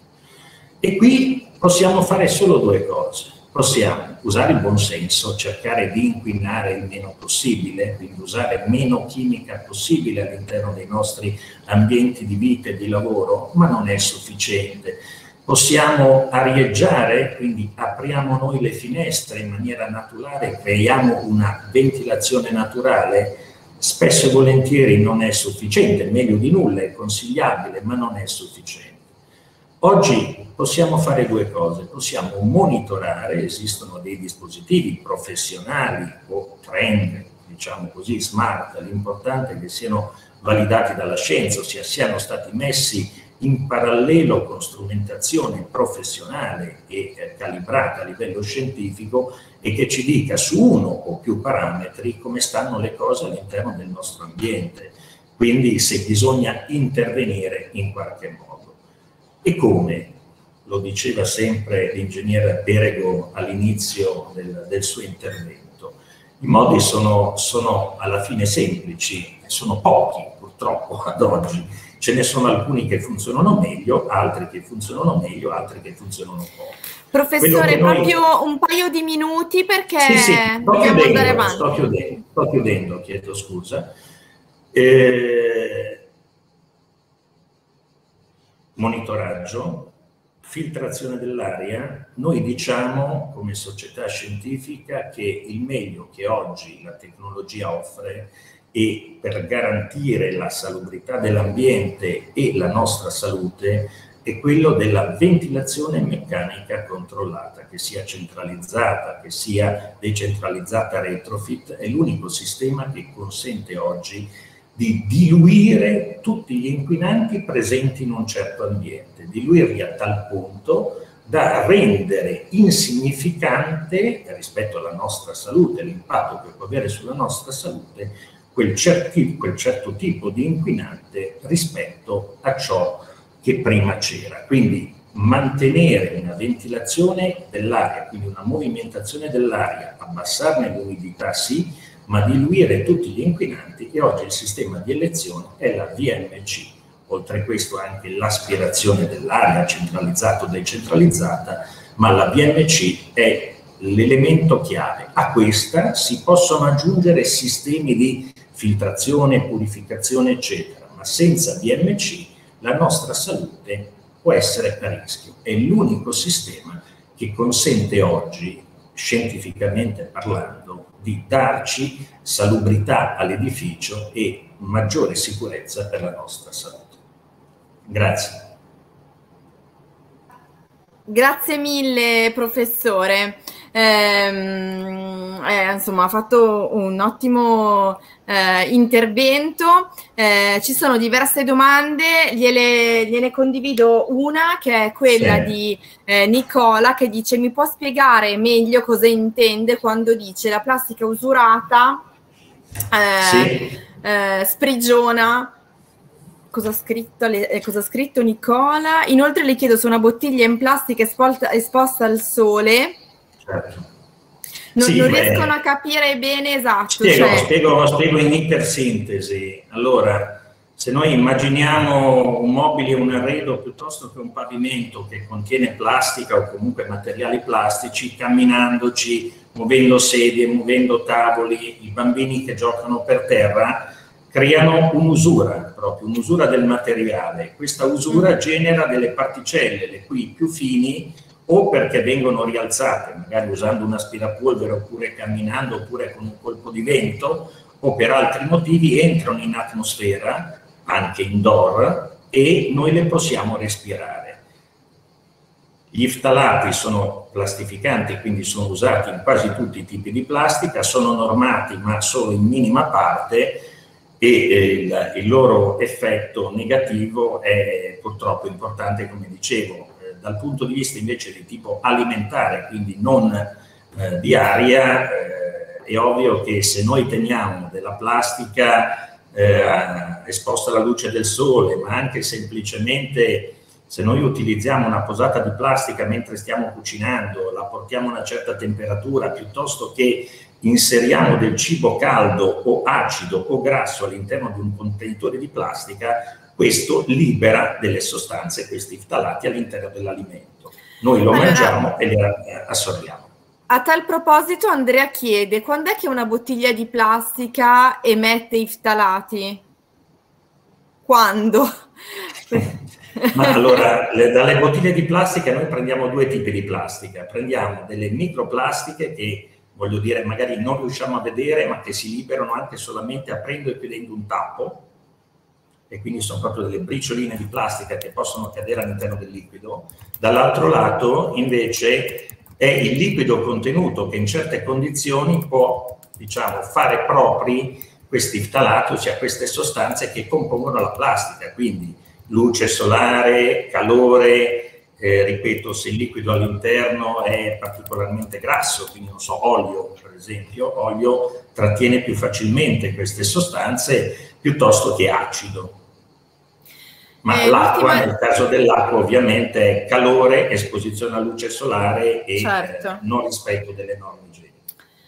L'ultima domanda è il monitoraggio degli inquinanti in casa, è un sistema accessibile economicamente a molti o a pochi? Oggi è un sistema assolutamente accessibile, abbiamo dei sistemi per monitoraggio che siano monoparametrici o pluriparametrici validati dalla scienza, quindi significa messi in parallelo con strumentazione scientifica che ne valida la loro capacità e calibrazione, possiamo fare un, dare una cifra, stiamo sotto i 200 euro. Ah, però, quindi secondo me pochi anni fa, pochi anni fa eh, per l'utente finale ovviamente, pochi anni fa eh, eravamo a cifre molto più alte, ma c'è da dire che a livello worldwide anche eh, diciamo, i componenti di questi sistemi, i prezzi sono molto scesi. Per fare un esempio, il migliore sensore di CO2 che va poi inserito all'interno della sua scatoletta e via dicendo, costava l'anno scorso 150 euro se ne compravo uno, quest'anno se ne compro uno costa 30 euro. Quindi eh, c'è certo. un mercato che cresce e ovviamente un costo alla produzione che si abbassa. Certo, che, che cresce la domanda. Bene, eh, professore, grazie mille, la lascio qui sempre in, eh, in silenzio e magari se ha voglia di intervenire ehm, eventualmente appunto può, eh, può comunicarmelo e ehm, aspetto Andrea Mantovani. Eccoci. Buon, buongiorno. Buon pomeriggio Andrea. Eh, adesso cerchiamo di capire eh, come prevenire le, le, patologie edilizie, quindi eh, come andare a intervenire su quelle che sono le prestazioni energetiche degli edifici, chiaramente eh, parlando ancora di ventilazione meccanica controllata. Quindi Andrea, fa, ti faccio condividere la presentazione. Eh, come sempre i partecipanti, se ci sono domande, ehm, mi raccomando potete scriverle, poi cerchiamo di capire. L'unica cosa che appunto eh, scrivendo uno dopo l'altro ogni tanto ri- mi, mi, perdo un po' e quindi faccio fatica a leggere, eh, quindi eh, magari abbiate un pochino di pazienza. Siamo a 596 partecipanti, quindi siamo tantissimi. Vi aggiungo eh, e vi ricordo ancora che abbiamo pubblicato i sondaggi nella sezione sondaggi, quindi vi chiediamo come sempre un contributo che è molto importante sia per noi che eh, per il partner tecnico. Perfetto, ci siamo.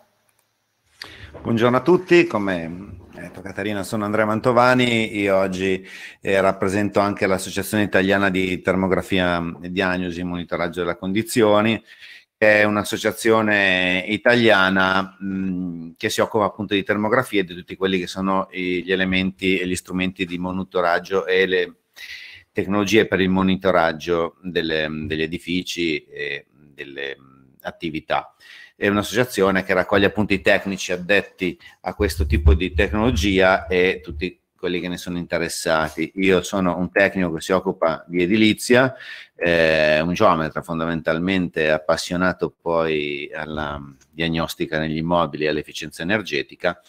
Per parlare oggi di mh, termografia infrarosso, eh, sì, di mh, ventilazione meccanica controllata legata anche alla termografia infrarosso, abbiamo l'opportunità appunto di andare a raccontare quelli che sono i benefici eh, nell'utilizzo della ventilazione meccanica eh, in un progetto di riqualificazione energetica.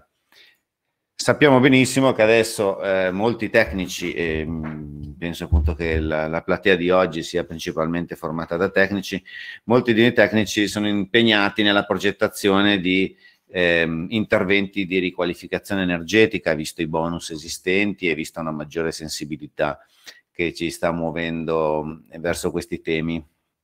Eh, la ventilazione meccanica controllata all'interno del progetto energetico comincia ad entrare in scena più di prima, nel senso che prima l'abitudine era di utilizzarla principalmente sugli edifici nuovi, case passive, case certificate casa clima, case progettate appunto come si deve e in alcuni interventi di riqualificazione energetica. Poi recentemente eh, si, utilizza, si, si cominciava a utilizzare per risolvere problemi di muffe di condensa e così via Adesso eh, si comincia a parlarne di più, per cui è importante andare a capire che benefici può portare all'interno di un, eh, di un progetto.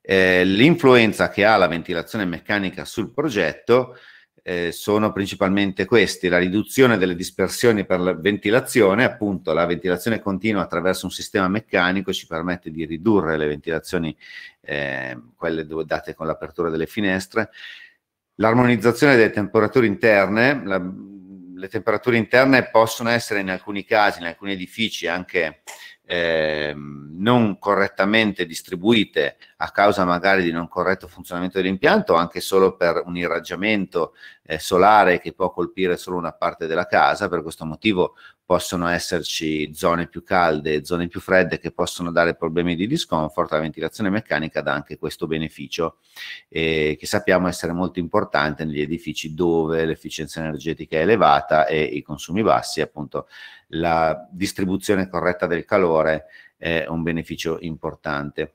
Migliora ovviamente la qualità dell'aria, tema di cui ehm, eh, ha parlato oh, molto eh, il professor Miani prima, è appunto il problema principale degli edifici ad alta efficienza sta diventando anche quello, e riduce le patologie edilizie. Patologie edilizie, termine non molto utilizzato, ma con questo termine si racchiudono tutte quelle che sono le malattie, come chiamiamo noi, le malattie che l'edificio può avere, che possono anche essere patologie edilizie, cioè dell'edificio, ma che possono anche poi portare a noi umani eh, delle malattie o delle patologie di, di vario genere.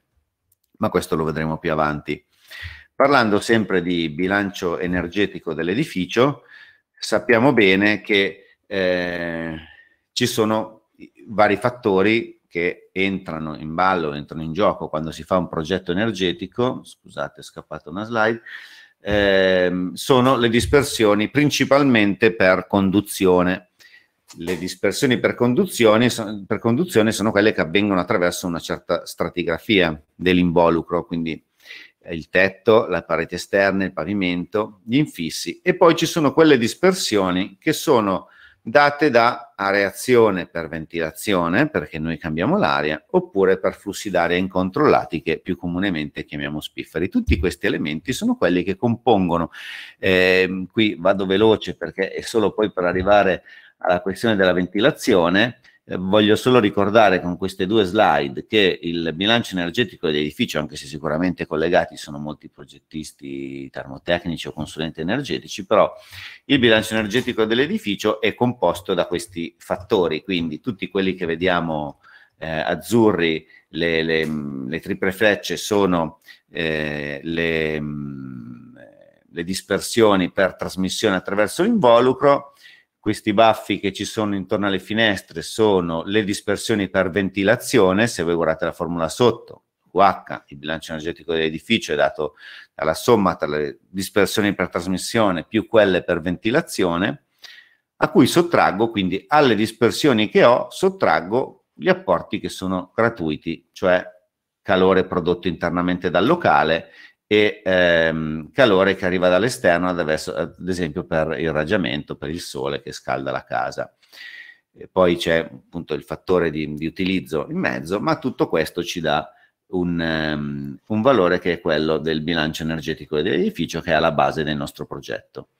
Quel QV è eh, il valore di perdite per ventilazione, cioè quello che io devo calcolare secondo la norma UNITS 11301 come ricambio d'aria. È qui che la, la ventilazione meccanica influisce sul bilancio energetico dell'edificio.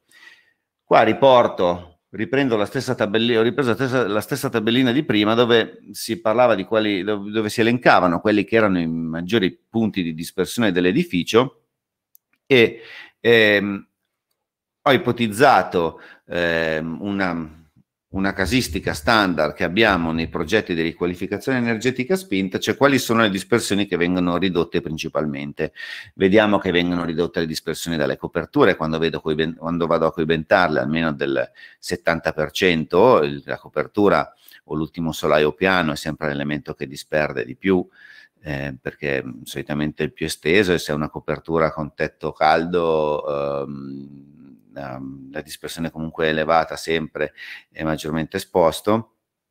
Le pareti esterne con la realizzazione dei cappotti può avere anche una dispersione eh, ridotta dell'80%, i pavimenti del 40%, eh, ipotizzando pavimenti controterra, i serramenti anche gli infissi del 60%, un valore che non sappiamo mai o comunque che poche volte viene valutato è quello della areazione per ventilazione delle, delle reazione e ventilazione dell'edificio, quindi la reazione che io faccio eh, aprendo le finestre e poi una cosa che non so, quali sono i flussi d'aria incontrollata dagli spifferi. In realtà ci sono dei metodi per capire quanta aria viene dispersa attraverso le spiffere di un edificio, ma diciamo che quando andiamo a prendere un edificio esistente, questo non è il nostro, il nostro problema principale. C'è una norma UNI, la 12.207, che ci permette di andare a vedere in base alla permeabilità, dei, ad esempio, dei serramenti, andare a capire quale può essere mh, la dispersione per, per gli spifferi. Comunque questi fattori sono quelli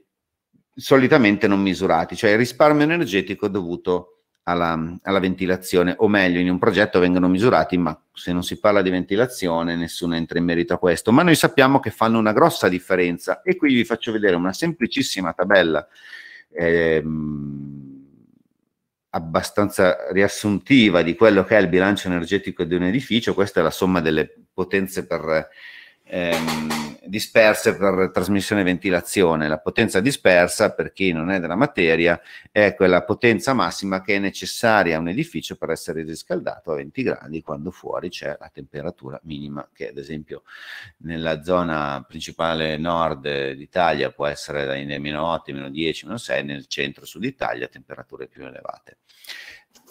Questo è un esempio fatto, eh, noi siamo nel nord Italia, quindi fatto con meno 8, questa è una casetta eh, monofamiliare e ha 15.000 watt di dispersione, dove c'è quel cerchiolino rosso, vedete dispersione per trasmissione, quindi lo schemino che abbiamo fatto vedere prima, le dispersioni attraverso l'involucro, quindi muri, ehm, eh, tetti, pavimenti verso terra, verso vani non riscaldati o attraverso i serramenti, dispersione per trasmissione dei serramenti, non per spiffere e ventilazione.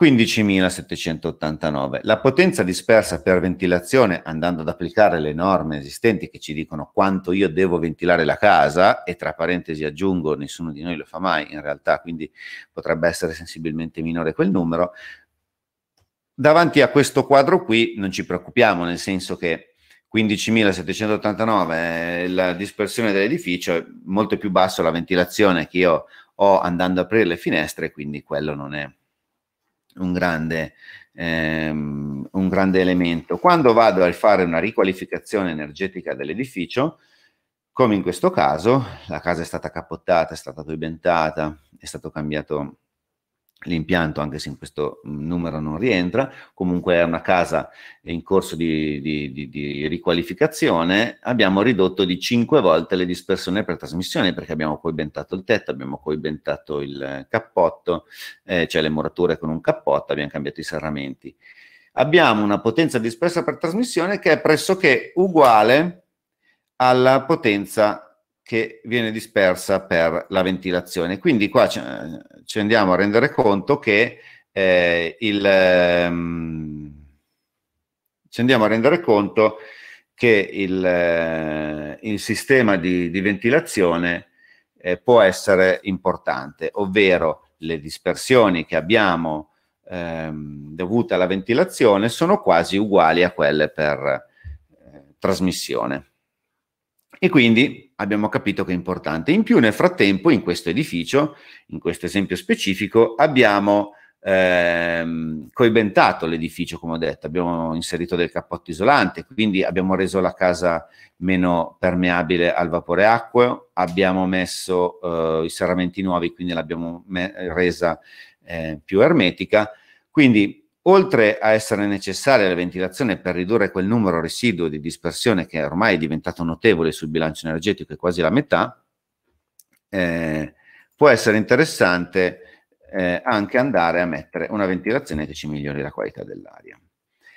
Abbiamo visto quindi velocemente come viene definito il bilancio energetico di un edificio e quale è mm, eh, l'incidenza della mm, della reazione della ventilazione, ma quando iniziamo un intervento di progettazione solitamente andiamo a fare delle analisi preliminari, come ho detto prima io sono geometra, rappresento anche la situazione di termografia, e come geometra i geometri da, da, finché, finché, da quando esistono hanno sempre misurato. E noi oggi misuriamo tutte quelle che sono le caratteristiche del, dell'edificio, quindi dall'involucro, le caratteristiche dell'involucro, ehm, eh, le strutture interne, verifichiamo gli impianti, la tenuta all'aria e andiamo a caccia di ponti termici. Tutti questi elementi li ho voluti riportare perché sono quelli che ci permettono di andare a fare un bilancio energetico, andare a fare un calcolo migliore appunto del bilancio energetico dell'edificio.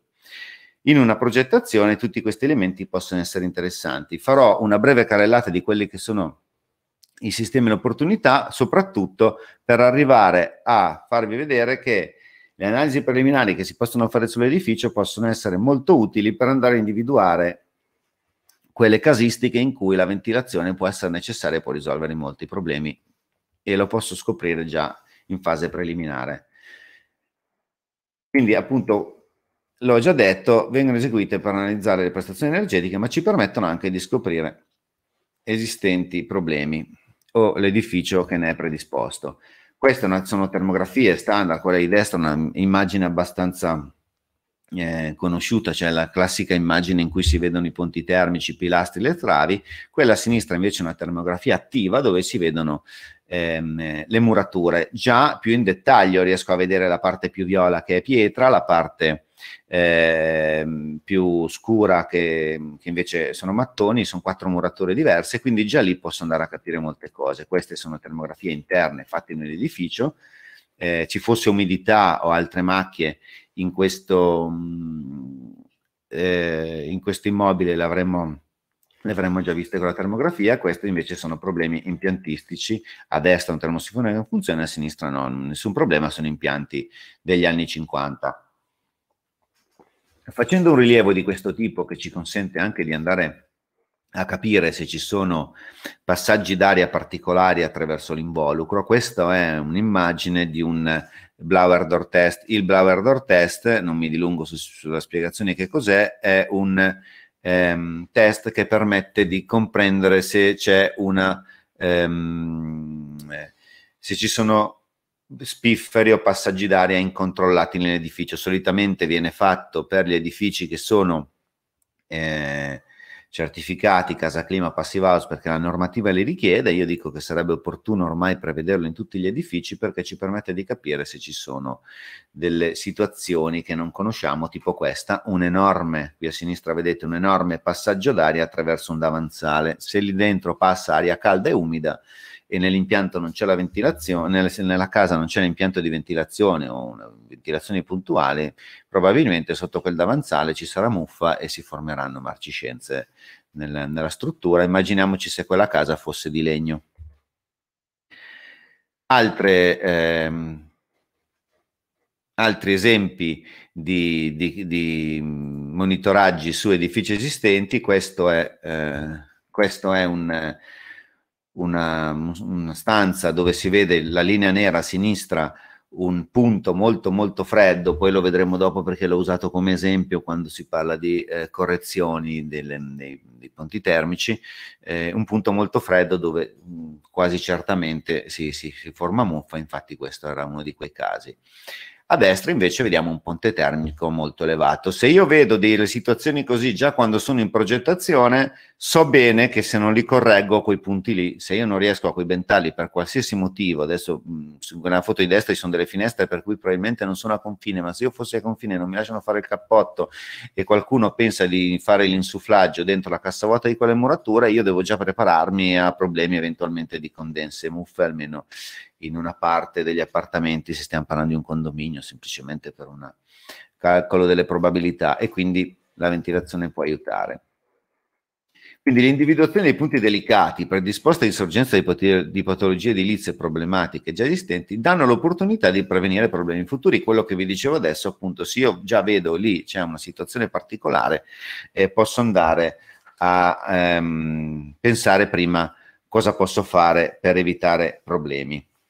Ovviamente, se io scopro patologie edilizie prima, posso andare anche a capire qual è la correlazione tra loro. Le patologie edilizie che possiamo scoprire già in fase preliminare, che possiamo andare anche a, a incontrare successivamente agli interventi, perché purtroppo nei tecnici o veniamo chiamati magari proprio per un lavoro che abbiamo fatto noi, qualche dettaglio non studiato bene, o per chi fa il CTU eh, o il CTP, appunto per, eh, per delle cause, per dei contenziosi, eh, ci troviamo di, di, fronte spesso a diverse eh, patologie e non sempre è facile individuarle. Tutte queste patologie, partiamo dalla più famosa, che è l'umidità di risalita, soprattutto negli antichi borghi, nei paesi o nelle case anche nuove, mal costruite, ehm, tutte queste patologie, a partire appunto da questa, sono patologie che si collegano una all'altra e che possono avere un impatto notevole, per collegarmi a quello che dicevano prima i precedenti relatori, alla qualità dell'aria interna. Questa è un'umidità di, di risalita standard, questa ehm, fatta eh, fotografata su un muro esterno, sappiamo bene che l'umidità che risale attraverso gli elementi costruttivi esce in superficie, i sali cristallizzano e fanno saltare la pittura prima e poi eventualmente anche l'intonico. A destra un sistema di misurazione molto semplice, la termografia eh, può anche far vedere quali sono le, mm, eh, quali sono, eh, le aree soggette a umidità di risalita, ma poi una misurazione attenta del grado di umidità può aiutare. Altri problemi interni che ci possono essere e che creano del, diversi tipi di patologie, questo è proprio quello più, più spinto, la condensa sui vetri, è una, questa è una situazione in cui c'è un'umidità elevata interna, ma anche un vetro poco prestante. Infatti vediamo, si intravede un giunto eh, color alluminio perché è un giunto vecchio, non è un giunto polimerico come quelli che si utilizzano adesso, che ci permette di, ehm, di non avere questi problemi. Ovviamente incide molto anche l'umidità interna che abbiamo e lo vedremo dopo. Io ho visto molti, molti, molti serramenti con ehm, ormai non solo più muffa delle sorte di, di, delle specie di alghe, una puzza anche interno al, al, profilo dietro i fermavetri, probabilmente sono pieni di funghi e di muffe. Ho visto situazioni, delle situazioni particolari. Un altro tipo di patologia che eh, eh, facilmente riscontrabile è questa. Mm, la foto di sinistra eh, rappresenta una muratura eh, perimetrale che è stata coibentata dall'interno con della lana di roccia. Sopra lì c'era una ehm, cartongesso. Cosa succede? Succede che il vapore acqua interno, se è elevato, ehm, attraversa la stratigrafia e se ehm, l'umidità è ancora molta anche all'interno del muro nel momento in cui trova la parete fredda, insomma per tutti i tecnici le verifiche di Glass le conosciamo, ma ci sono altre verifiche più dettagliate che si possono fare con altri software. Ehm, quando l'umidità trova appunto la parte fredda del muro condensa e fa marcire l'isolamento interno. Questo può anche essere aggravato da dei passaggi d'aria che ci possono essere ad esempio eh, dietro questo muro. Se io avessi un corrugato di un, di un impianto che passa lì dietro, e che va fuori, l'aria calda passa all'interno del tubo, fa quello che noi chiamiamo in gergo bypass termico e fa marcire maggiormente. L'immagine a destra invece è un altro caso in cui all'interno della casa vi era una qualità dell'aria pessima, carica di umidità, la casa è nuova, non hanno messo le zanzariere, ma al posto del, delle zanzariere nel cassonetto coibentato hanno messo questo tappo per chiudere lo spazio vuoto.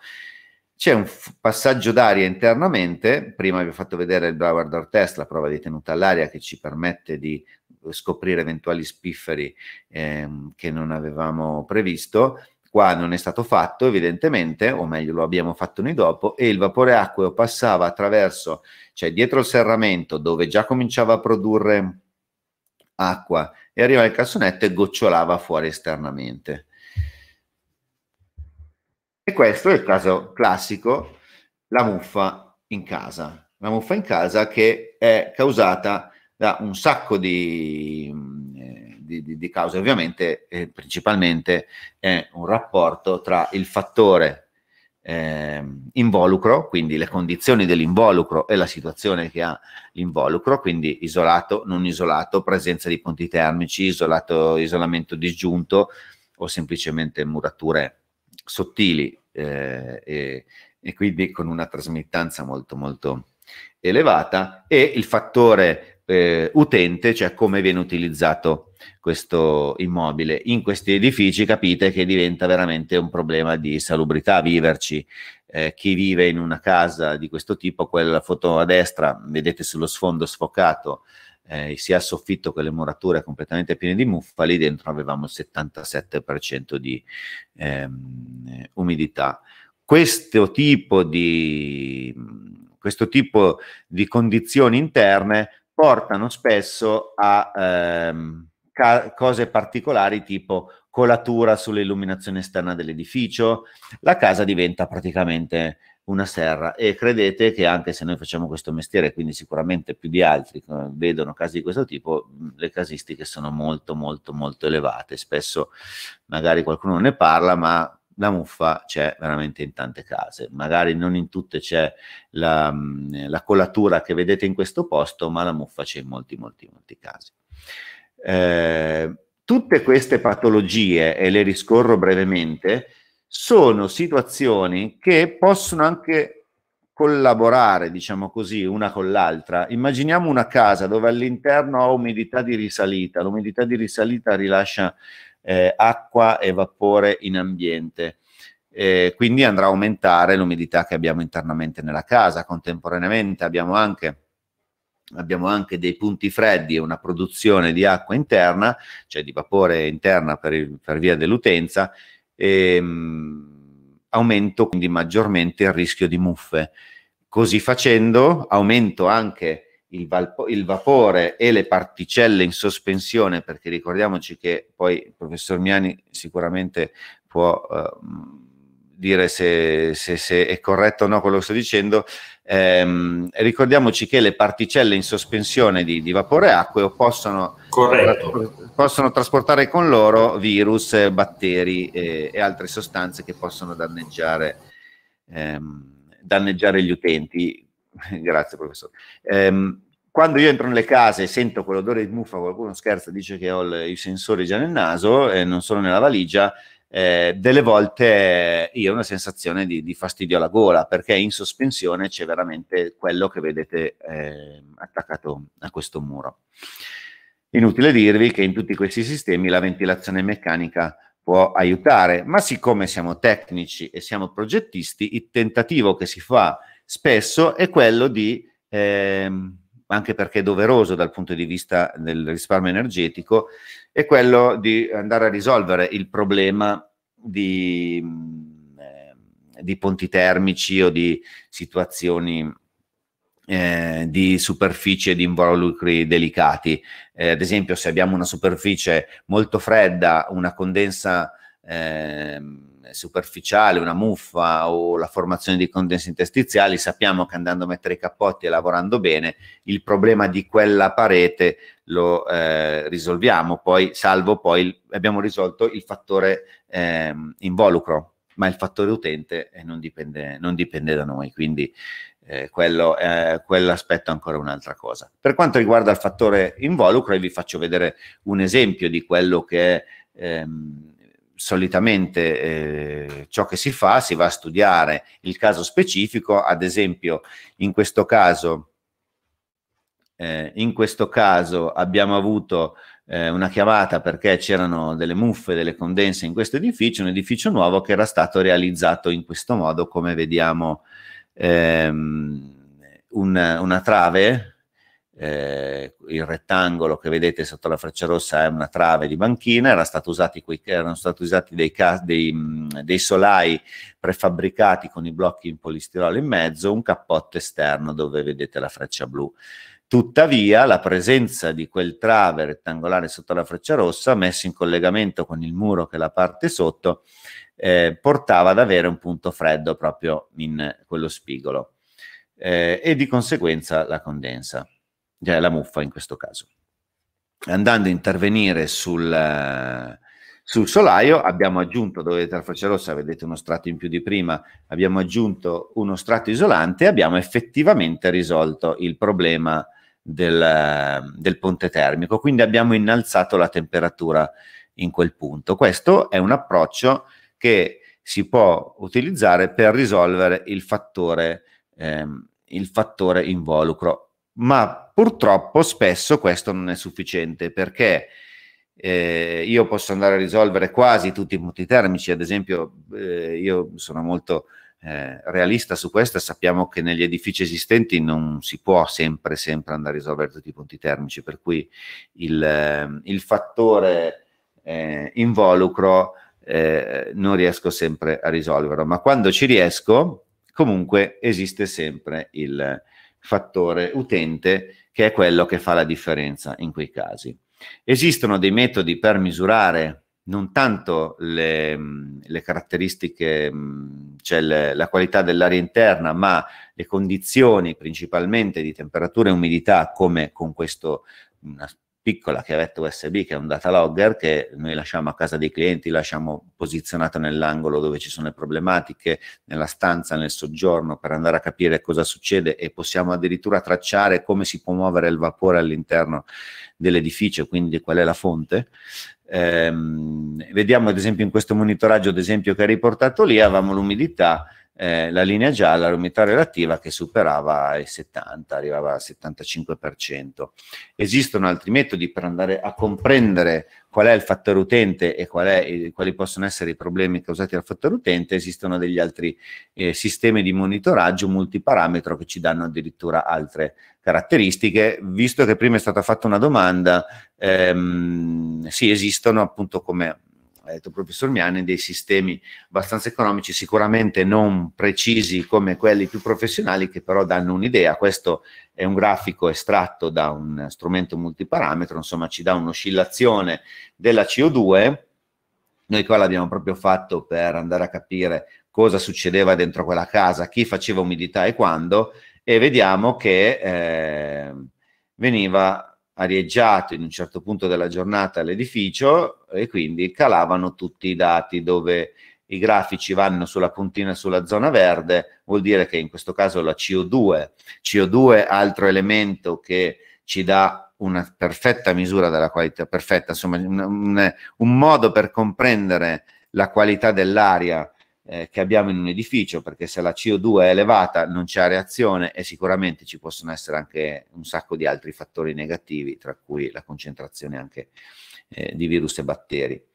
Eh, torniamo indietro di nuovo. Ecco, l'umidità in questo caso vediamo che è arrivata fino a 68, ci dicono le zone gialle, e eh, i componenti organici volatili, altro sistema di misurazione, in realtà i, i sistemi più economici misurano i, i, i TVOC, cioè il totale, il totale, di tutti i VOC, degli elementi organici volatili, che sono principalmente in un edificio emessi dalla cottura dei cibi, dalla pulizia e da altri materiali. E poi il monitoraggio del radon, che in questo caso, con questo strumento, non ha potuto darci dei dati idonei perché il monitoraggio un, del radon è un monitoraggio che va fatto più a lungo termine, però vi assicuro che anche con sistemi abbastanza economici eh, ho avuto modo di vedere eh, valori di Becquerel, che è l'unità di misura del radon, eh, molto elevati, anche di 700-800, stante il fatto che io eh, risiedo e vivo in una zona dove ehm, c'è alta concentrazione, sarà sempre in aumento, soprattutto perché vengono ehm, sigillati gli edifici, insomma, cambiando i serramenti e coibentandoli, il radon è destinato a, a, salire se non ci sono opportune misure di ehm, sigillatura dell'edificio e anche di mitigazione. Okay.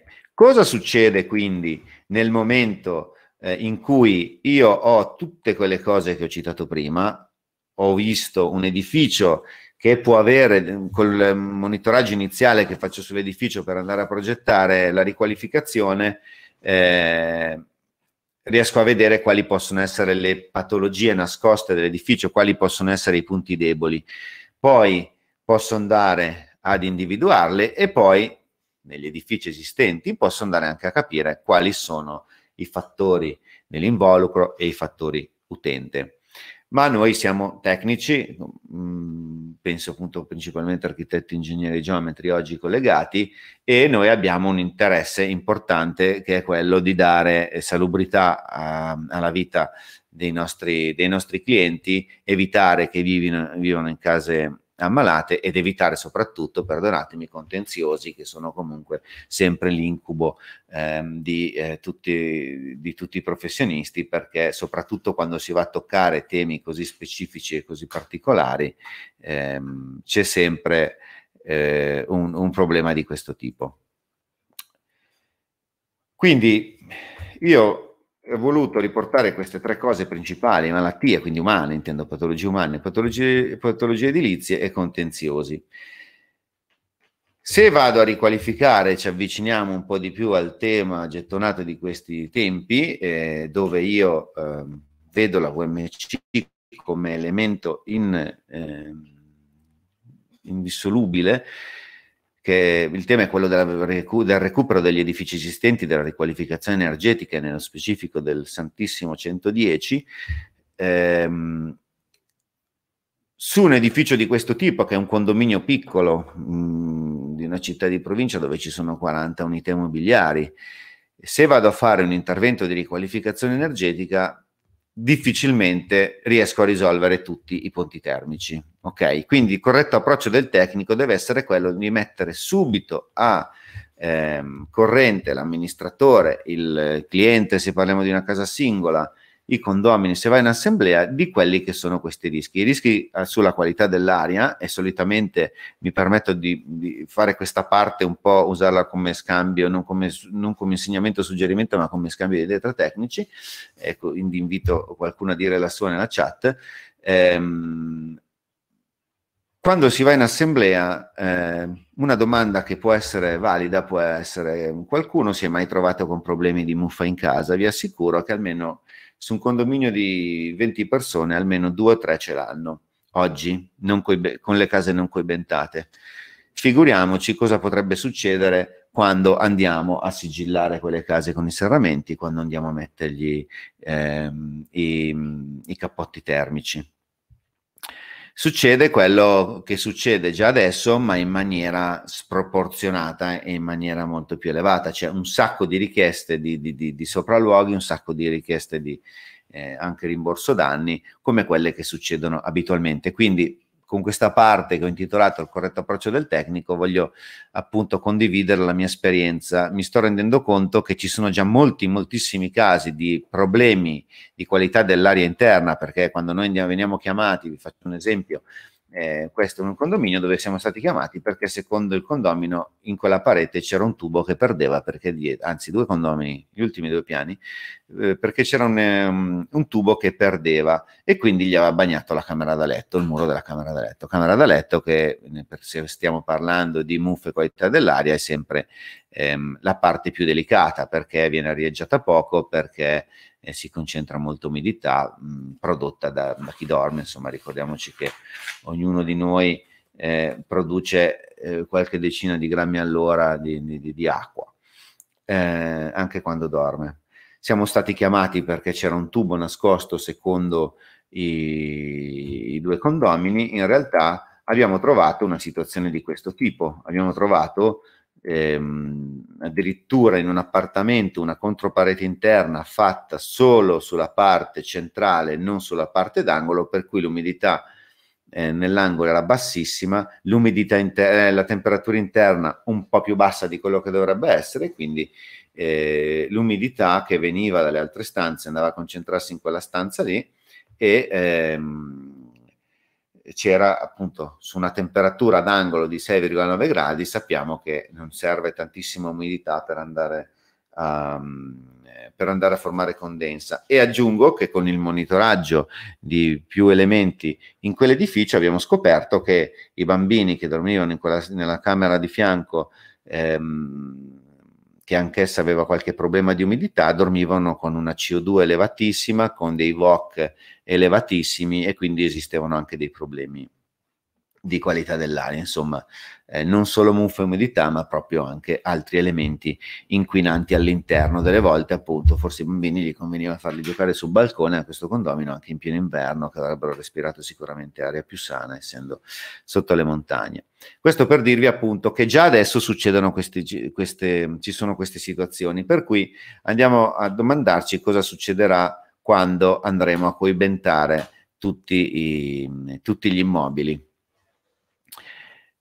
Ecco, la, il monitoraggio di, di, queste stanze, ecco, non umidità elevatissima, come dicevo, arrivava al 70%, comunque già elevata, ma non ehm, in, non ehm, incontenibile, sicuramente appunto ehm, risolvibile come è stato fatto con un sistema di ventilazione meccanica puntuale si è risolto il problema.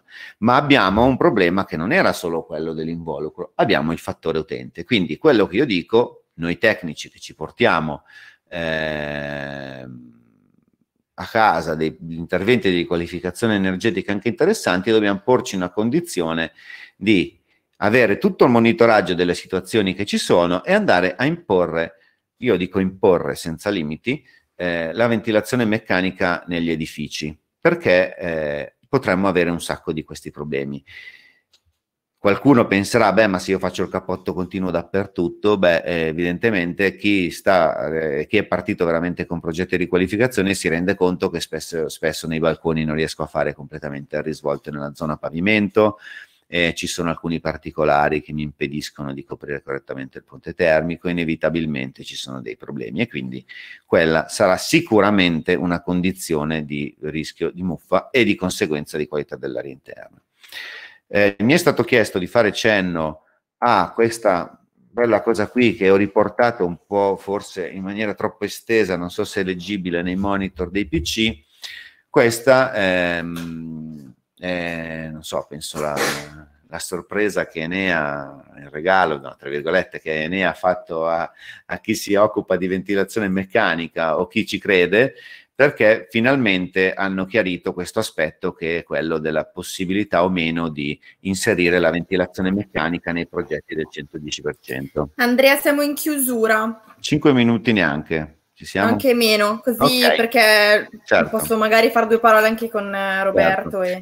Ok, quello che ci dice la, l'ultima Faldinea che è uscita eh, circa un mese fa, ci dice che possiamo utilizzare, in modo chiaro, possiamo utilizzare la ventilazione meccanica nei progetti di riqualificazione energetica che vanno al 110%. Però tra tutte queste cose eh, ci dice anche una serie di verifiche che dobbiamo fare. Insomma, dobbiamo verificare che quel ponte termico sia assolutamente irrisolvibile, come quello che ho citato prima in un condominio, dove, ecco, questo è un esempio, ci sono i fattori di temperatura da verificare, i tecnici lo sanno, io con degli elementi, con dei software FEM agli elementi finiti, eh, riesco ad andare a verificare quelli che sono i punti con la condensa, quindi devo dimostrare in una relazione che poi va allegata alle asseverazioni che io non ho eh, modo di correggere quel ponte termico e si formeranno muffe nonostante ci sia un ricambio d'aria previsto dalle norme, e devo andare a verificare in base alla concentrazione di vapore quelli che sono i, che sono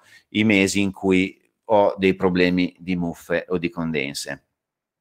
In questo modo, andando a modificare la concentrazione classe di vapore e quindi dimostro che con la ventilazione meccanica migliore non avrò più muffe e condense, questo mi dice l'Enea, eh, quindi già questo è un passaggio non, non, facile, la sto accorciando anche a mio favore perché so che svilupperebbe molte domande, ma eh, è un, una verifica abbastanza seria e complicata e poi devo dimostrare che tutti quei ponti termici che non ho potuto correggere, se li avessi corretti, mi portavano il beneficio energetico che mi porta adesso la VMC che ho inserito. Rivediamo e chiudo la tabella che avevamo visto prima dove ci sono le dispersioni. Questo è un edificio invece che coibentato va a disperdere 8000 watt e per ventilazione ne disperde 6000. Io dimostro invece che arrivo non disperderne più 6.000 per ventilazione ma 1.800 e quella differenza che ho tra la ventilazione con ventilazione e senza ventilazione deve essere maggiore di quella che avevo eh, del risparmio che avevo se andavo a correggere tutti i punti termici. Questa è la mia ultima slide e quindi io dico VMC ehm, è possibile utilizzarla nel massimale del cappotto, quei 50.000 o 40 o 30.000 che ci sono vari, nel, che è indicata nella normativa, con dimostrazione dei requisiti, quindi quelle verifiche complicate che io ho riassunto perché non era tema della giornata, ma sono importanti. La VMC nel massimale dell'impianto al 30.000, 20.000, 15.000 euro, dipende da quante sono unità immobiliari, solo con sistemi di riscaldamento aria-aria, cioè con la ventilazione meccanica con il riscaldamento e la pompa di calore. Io dico con la ventilazione meccanica per il 110, attenzione anche alla protezione acustica perché è una verifica che va fatta e l'efficienza del recuperatore, per cui chiedere sempre i dati e soprattutto attenzione a quelli che sono gli utenti contrari nei condomini, farsi firmare delle liberatorie perché potrà essere un problema un indomani. E eh, concludo e vi ringrazio. Grazie mille mm, Andrea. Eh, un intervento molto interessante. Eh, se posso, vorrei però appunto insomma, condividere un paio di, eh, di domande che sono arrivate. Ehm, la prima è quella di Nicola, in realtà eh, ne, avevamo un po' accennato anche prima, ma magari possiamo riprendere meglio il concetto. Lui chiede, considerato una termografia, c'è un modo per valutare se siamo in presenza di infiltrazioni d'aria o mancanza di isolamento? Allora, eh, con la termografia riusciamo a capire dove c'è isolamento e dove non c'è, non, con la semplice termografia, quindi riusciamo a capire su una parete qual è la zona isolata, qual è la zona non isolata, lo riusciamo, riusciamo a capirlo ehm, eh, da, dalle temperature superficiali, riusciamo a capire anche se in un muro c'è o meno isolamento. Con la sola termografia non si riesce a comprendere qual è il grado di isolamento della parete, lì c'è un'altra metodologia, un'altra tecnologia che è la termoflussimetria. E invece le infiltrazioni d'aria vengono te- verificate con la termografia, ma con l'ausilio del blower door test, che è appunto uno strumento che mette in sovrappressione o in depressione l'edificio in modo da mettere in evidenza gli spifferi. Bene, ehm, Nicola chiede ancora, la muffa per proliferare necessita di quale temperatura e umidità? Allora, la muffa, per essere precisi, siccome ne esistono di, vari, di varie tipologie, ma penso mm. qualche migliaio, eh, la percentuale di umidità può essere variabile, comunque in ambienti anche con eh, alcune muffe anche già col 55%, 60% di umidità possono formarsi, se non è afro. Vado avanti. Eh, mh, Franco chiede, dice: Il cappotto esterno risolve i problemi dei punti termici. Considerato che il materiale isolante necessita di rimanere asciutto, deve essere protetto esternamente da filtrazioni di umidità. Ma ciò crea trattenuta di umidità all'interno del locale? Allora, il, i cappotti vengono completati con un rasante che ovviamente ha una tenuta non tanto all'umidità quanto all'acqua battente, quindi alla pioggia, eh, avere una tenuta all'acqua non vuol dire eh, che quello strato è completamente impermeabile perché un minimo di passaggio al vapore d'acqua eh, ce l'ha. Sicuramente in funzione del materiale che io metto esternamente avrò una maggiore o una minore permeabilità eh, dell'aria attraverso la, la, superficie. Quindi quello che ehm, quello che rispondo al, all'utente è che sicuramente va valutato. Lo strato isolante esterno, i materiali eh, naturali hanno una maggiore permeabilità al vapore, i materiali eh, sintetici meno, la superficie esterna comunque esternamente avrà sempre una tenuta all'acqua battente, ma può avere in funzione eh, del materiale che si utilizza una maggiore o una minore un maggiore o minore passaggio di umidità attraverso il muro. Quindi esiste il rischio che si possa accumulare all'interno della muratura del, dell'umidità interna, quindi vanno fatte le verifiche, i tecnici devono fare le verifiche quando progettano un muro e appunto andare a capire se in quell'edificio può esserci quel rischio, eventualmente inserendo una ventilazione. Vi faccio una domanda, in realtà ne ho due e, e poi dopo concludiamo. La prima domanda è Visto e considerato quanto è, eh, diciamo, eh, diffuso il problema dell'umidità e il problema quindi delle muffe, eccetera, cioè, ma manca formazione, manca competenza nella progettazione, cioè che cos'è che non funziona? Perché è comunque eh, così mh, mm, uno dei fenomeni che più è evidente eh, in anche edifici più o meno datati in realtà. Se posso non voglio togliere la parola ai tecnici, ma è per fare una chiosa a quello che diceva il geometra Mantovani poco fa. Il, il punto è questo, si è pensato sia a livello storico, diciamo anche solo negli anni più recenti, non solo edifici antichi, di pensare prima a una coibentazione, quindi a risparmio energetico. Cioè, a livello proprio di conoscenze tecniche si è arrivati prima a pensare al risparmio energetico, problema molto sentito soprattutto nei grandi palazzi, nei grandi grattacieli, ma anche nelle abitazioni nostre italiane. Il tema della qualità dell'aria indoor è arrivato dopo e quindi adesso le due cose si devono interfacciare. La muffa, l'umidità, ok, ma la muffa in particolare, la vera discriminante non è la temperatura, al di là delle tipologie di muffa, piuttosto che il tasso di umidità, è la mancanza di ventilazione e di areazione nell'ambiente. Se c'è areazione e ventilazione nell'ambiente, la muffa non si forma, a prescindere dall'umidità e dalla temperatura. Eh, sì, che tra l'altro poi parlavamo di muffa, ma adesso il passaggio successivo, forse Roberto ne avevamo già parlato, ma non mi ricordo, in un'altra occasione, eh, io penso alla eh, scuola di mio figlio che d'inverno comunque le classi, o soprattutto quest'anno in particolare, finestra aperta se per eh. un'idea di ricambio dell'aria, di sostanze, quindi in realtà forse è un tema che dovrebbe essere, a prescindere dal risparmio energetico di cui chiaramente tanto si parla e tanto si è parlato, forse è un tema che bisognerebbe approfondire, soprattutto in una, tutta una serie di strutture magari che insomma eh, ospitano il pubblico, mettiamolo così. Eh, la, finestra aperta sicuramente consente il ricambio dell'aria, anche se giustamente va a compromettere un po' quelle che sono le temperature interne.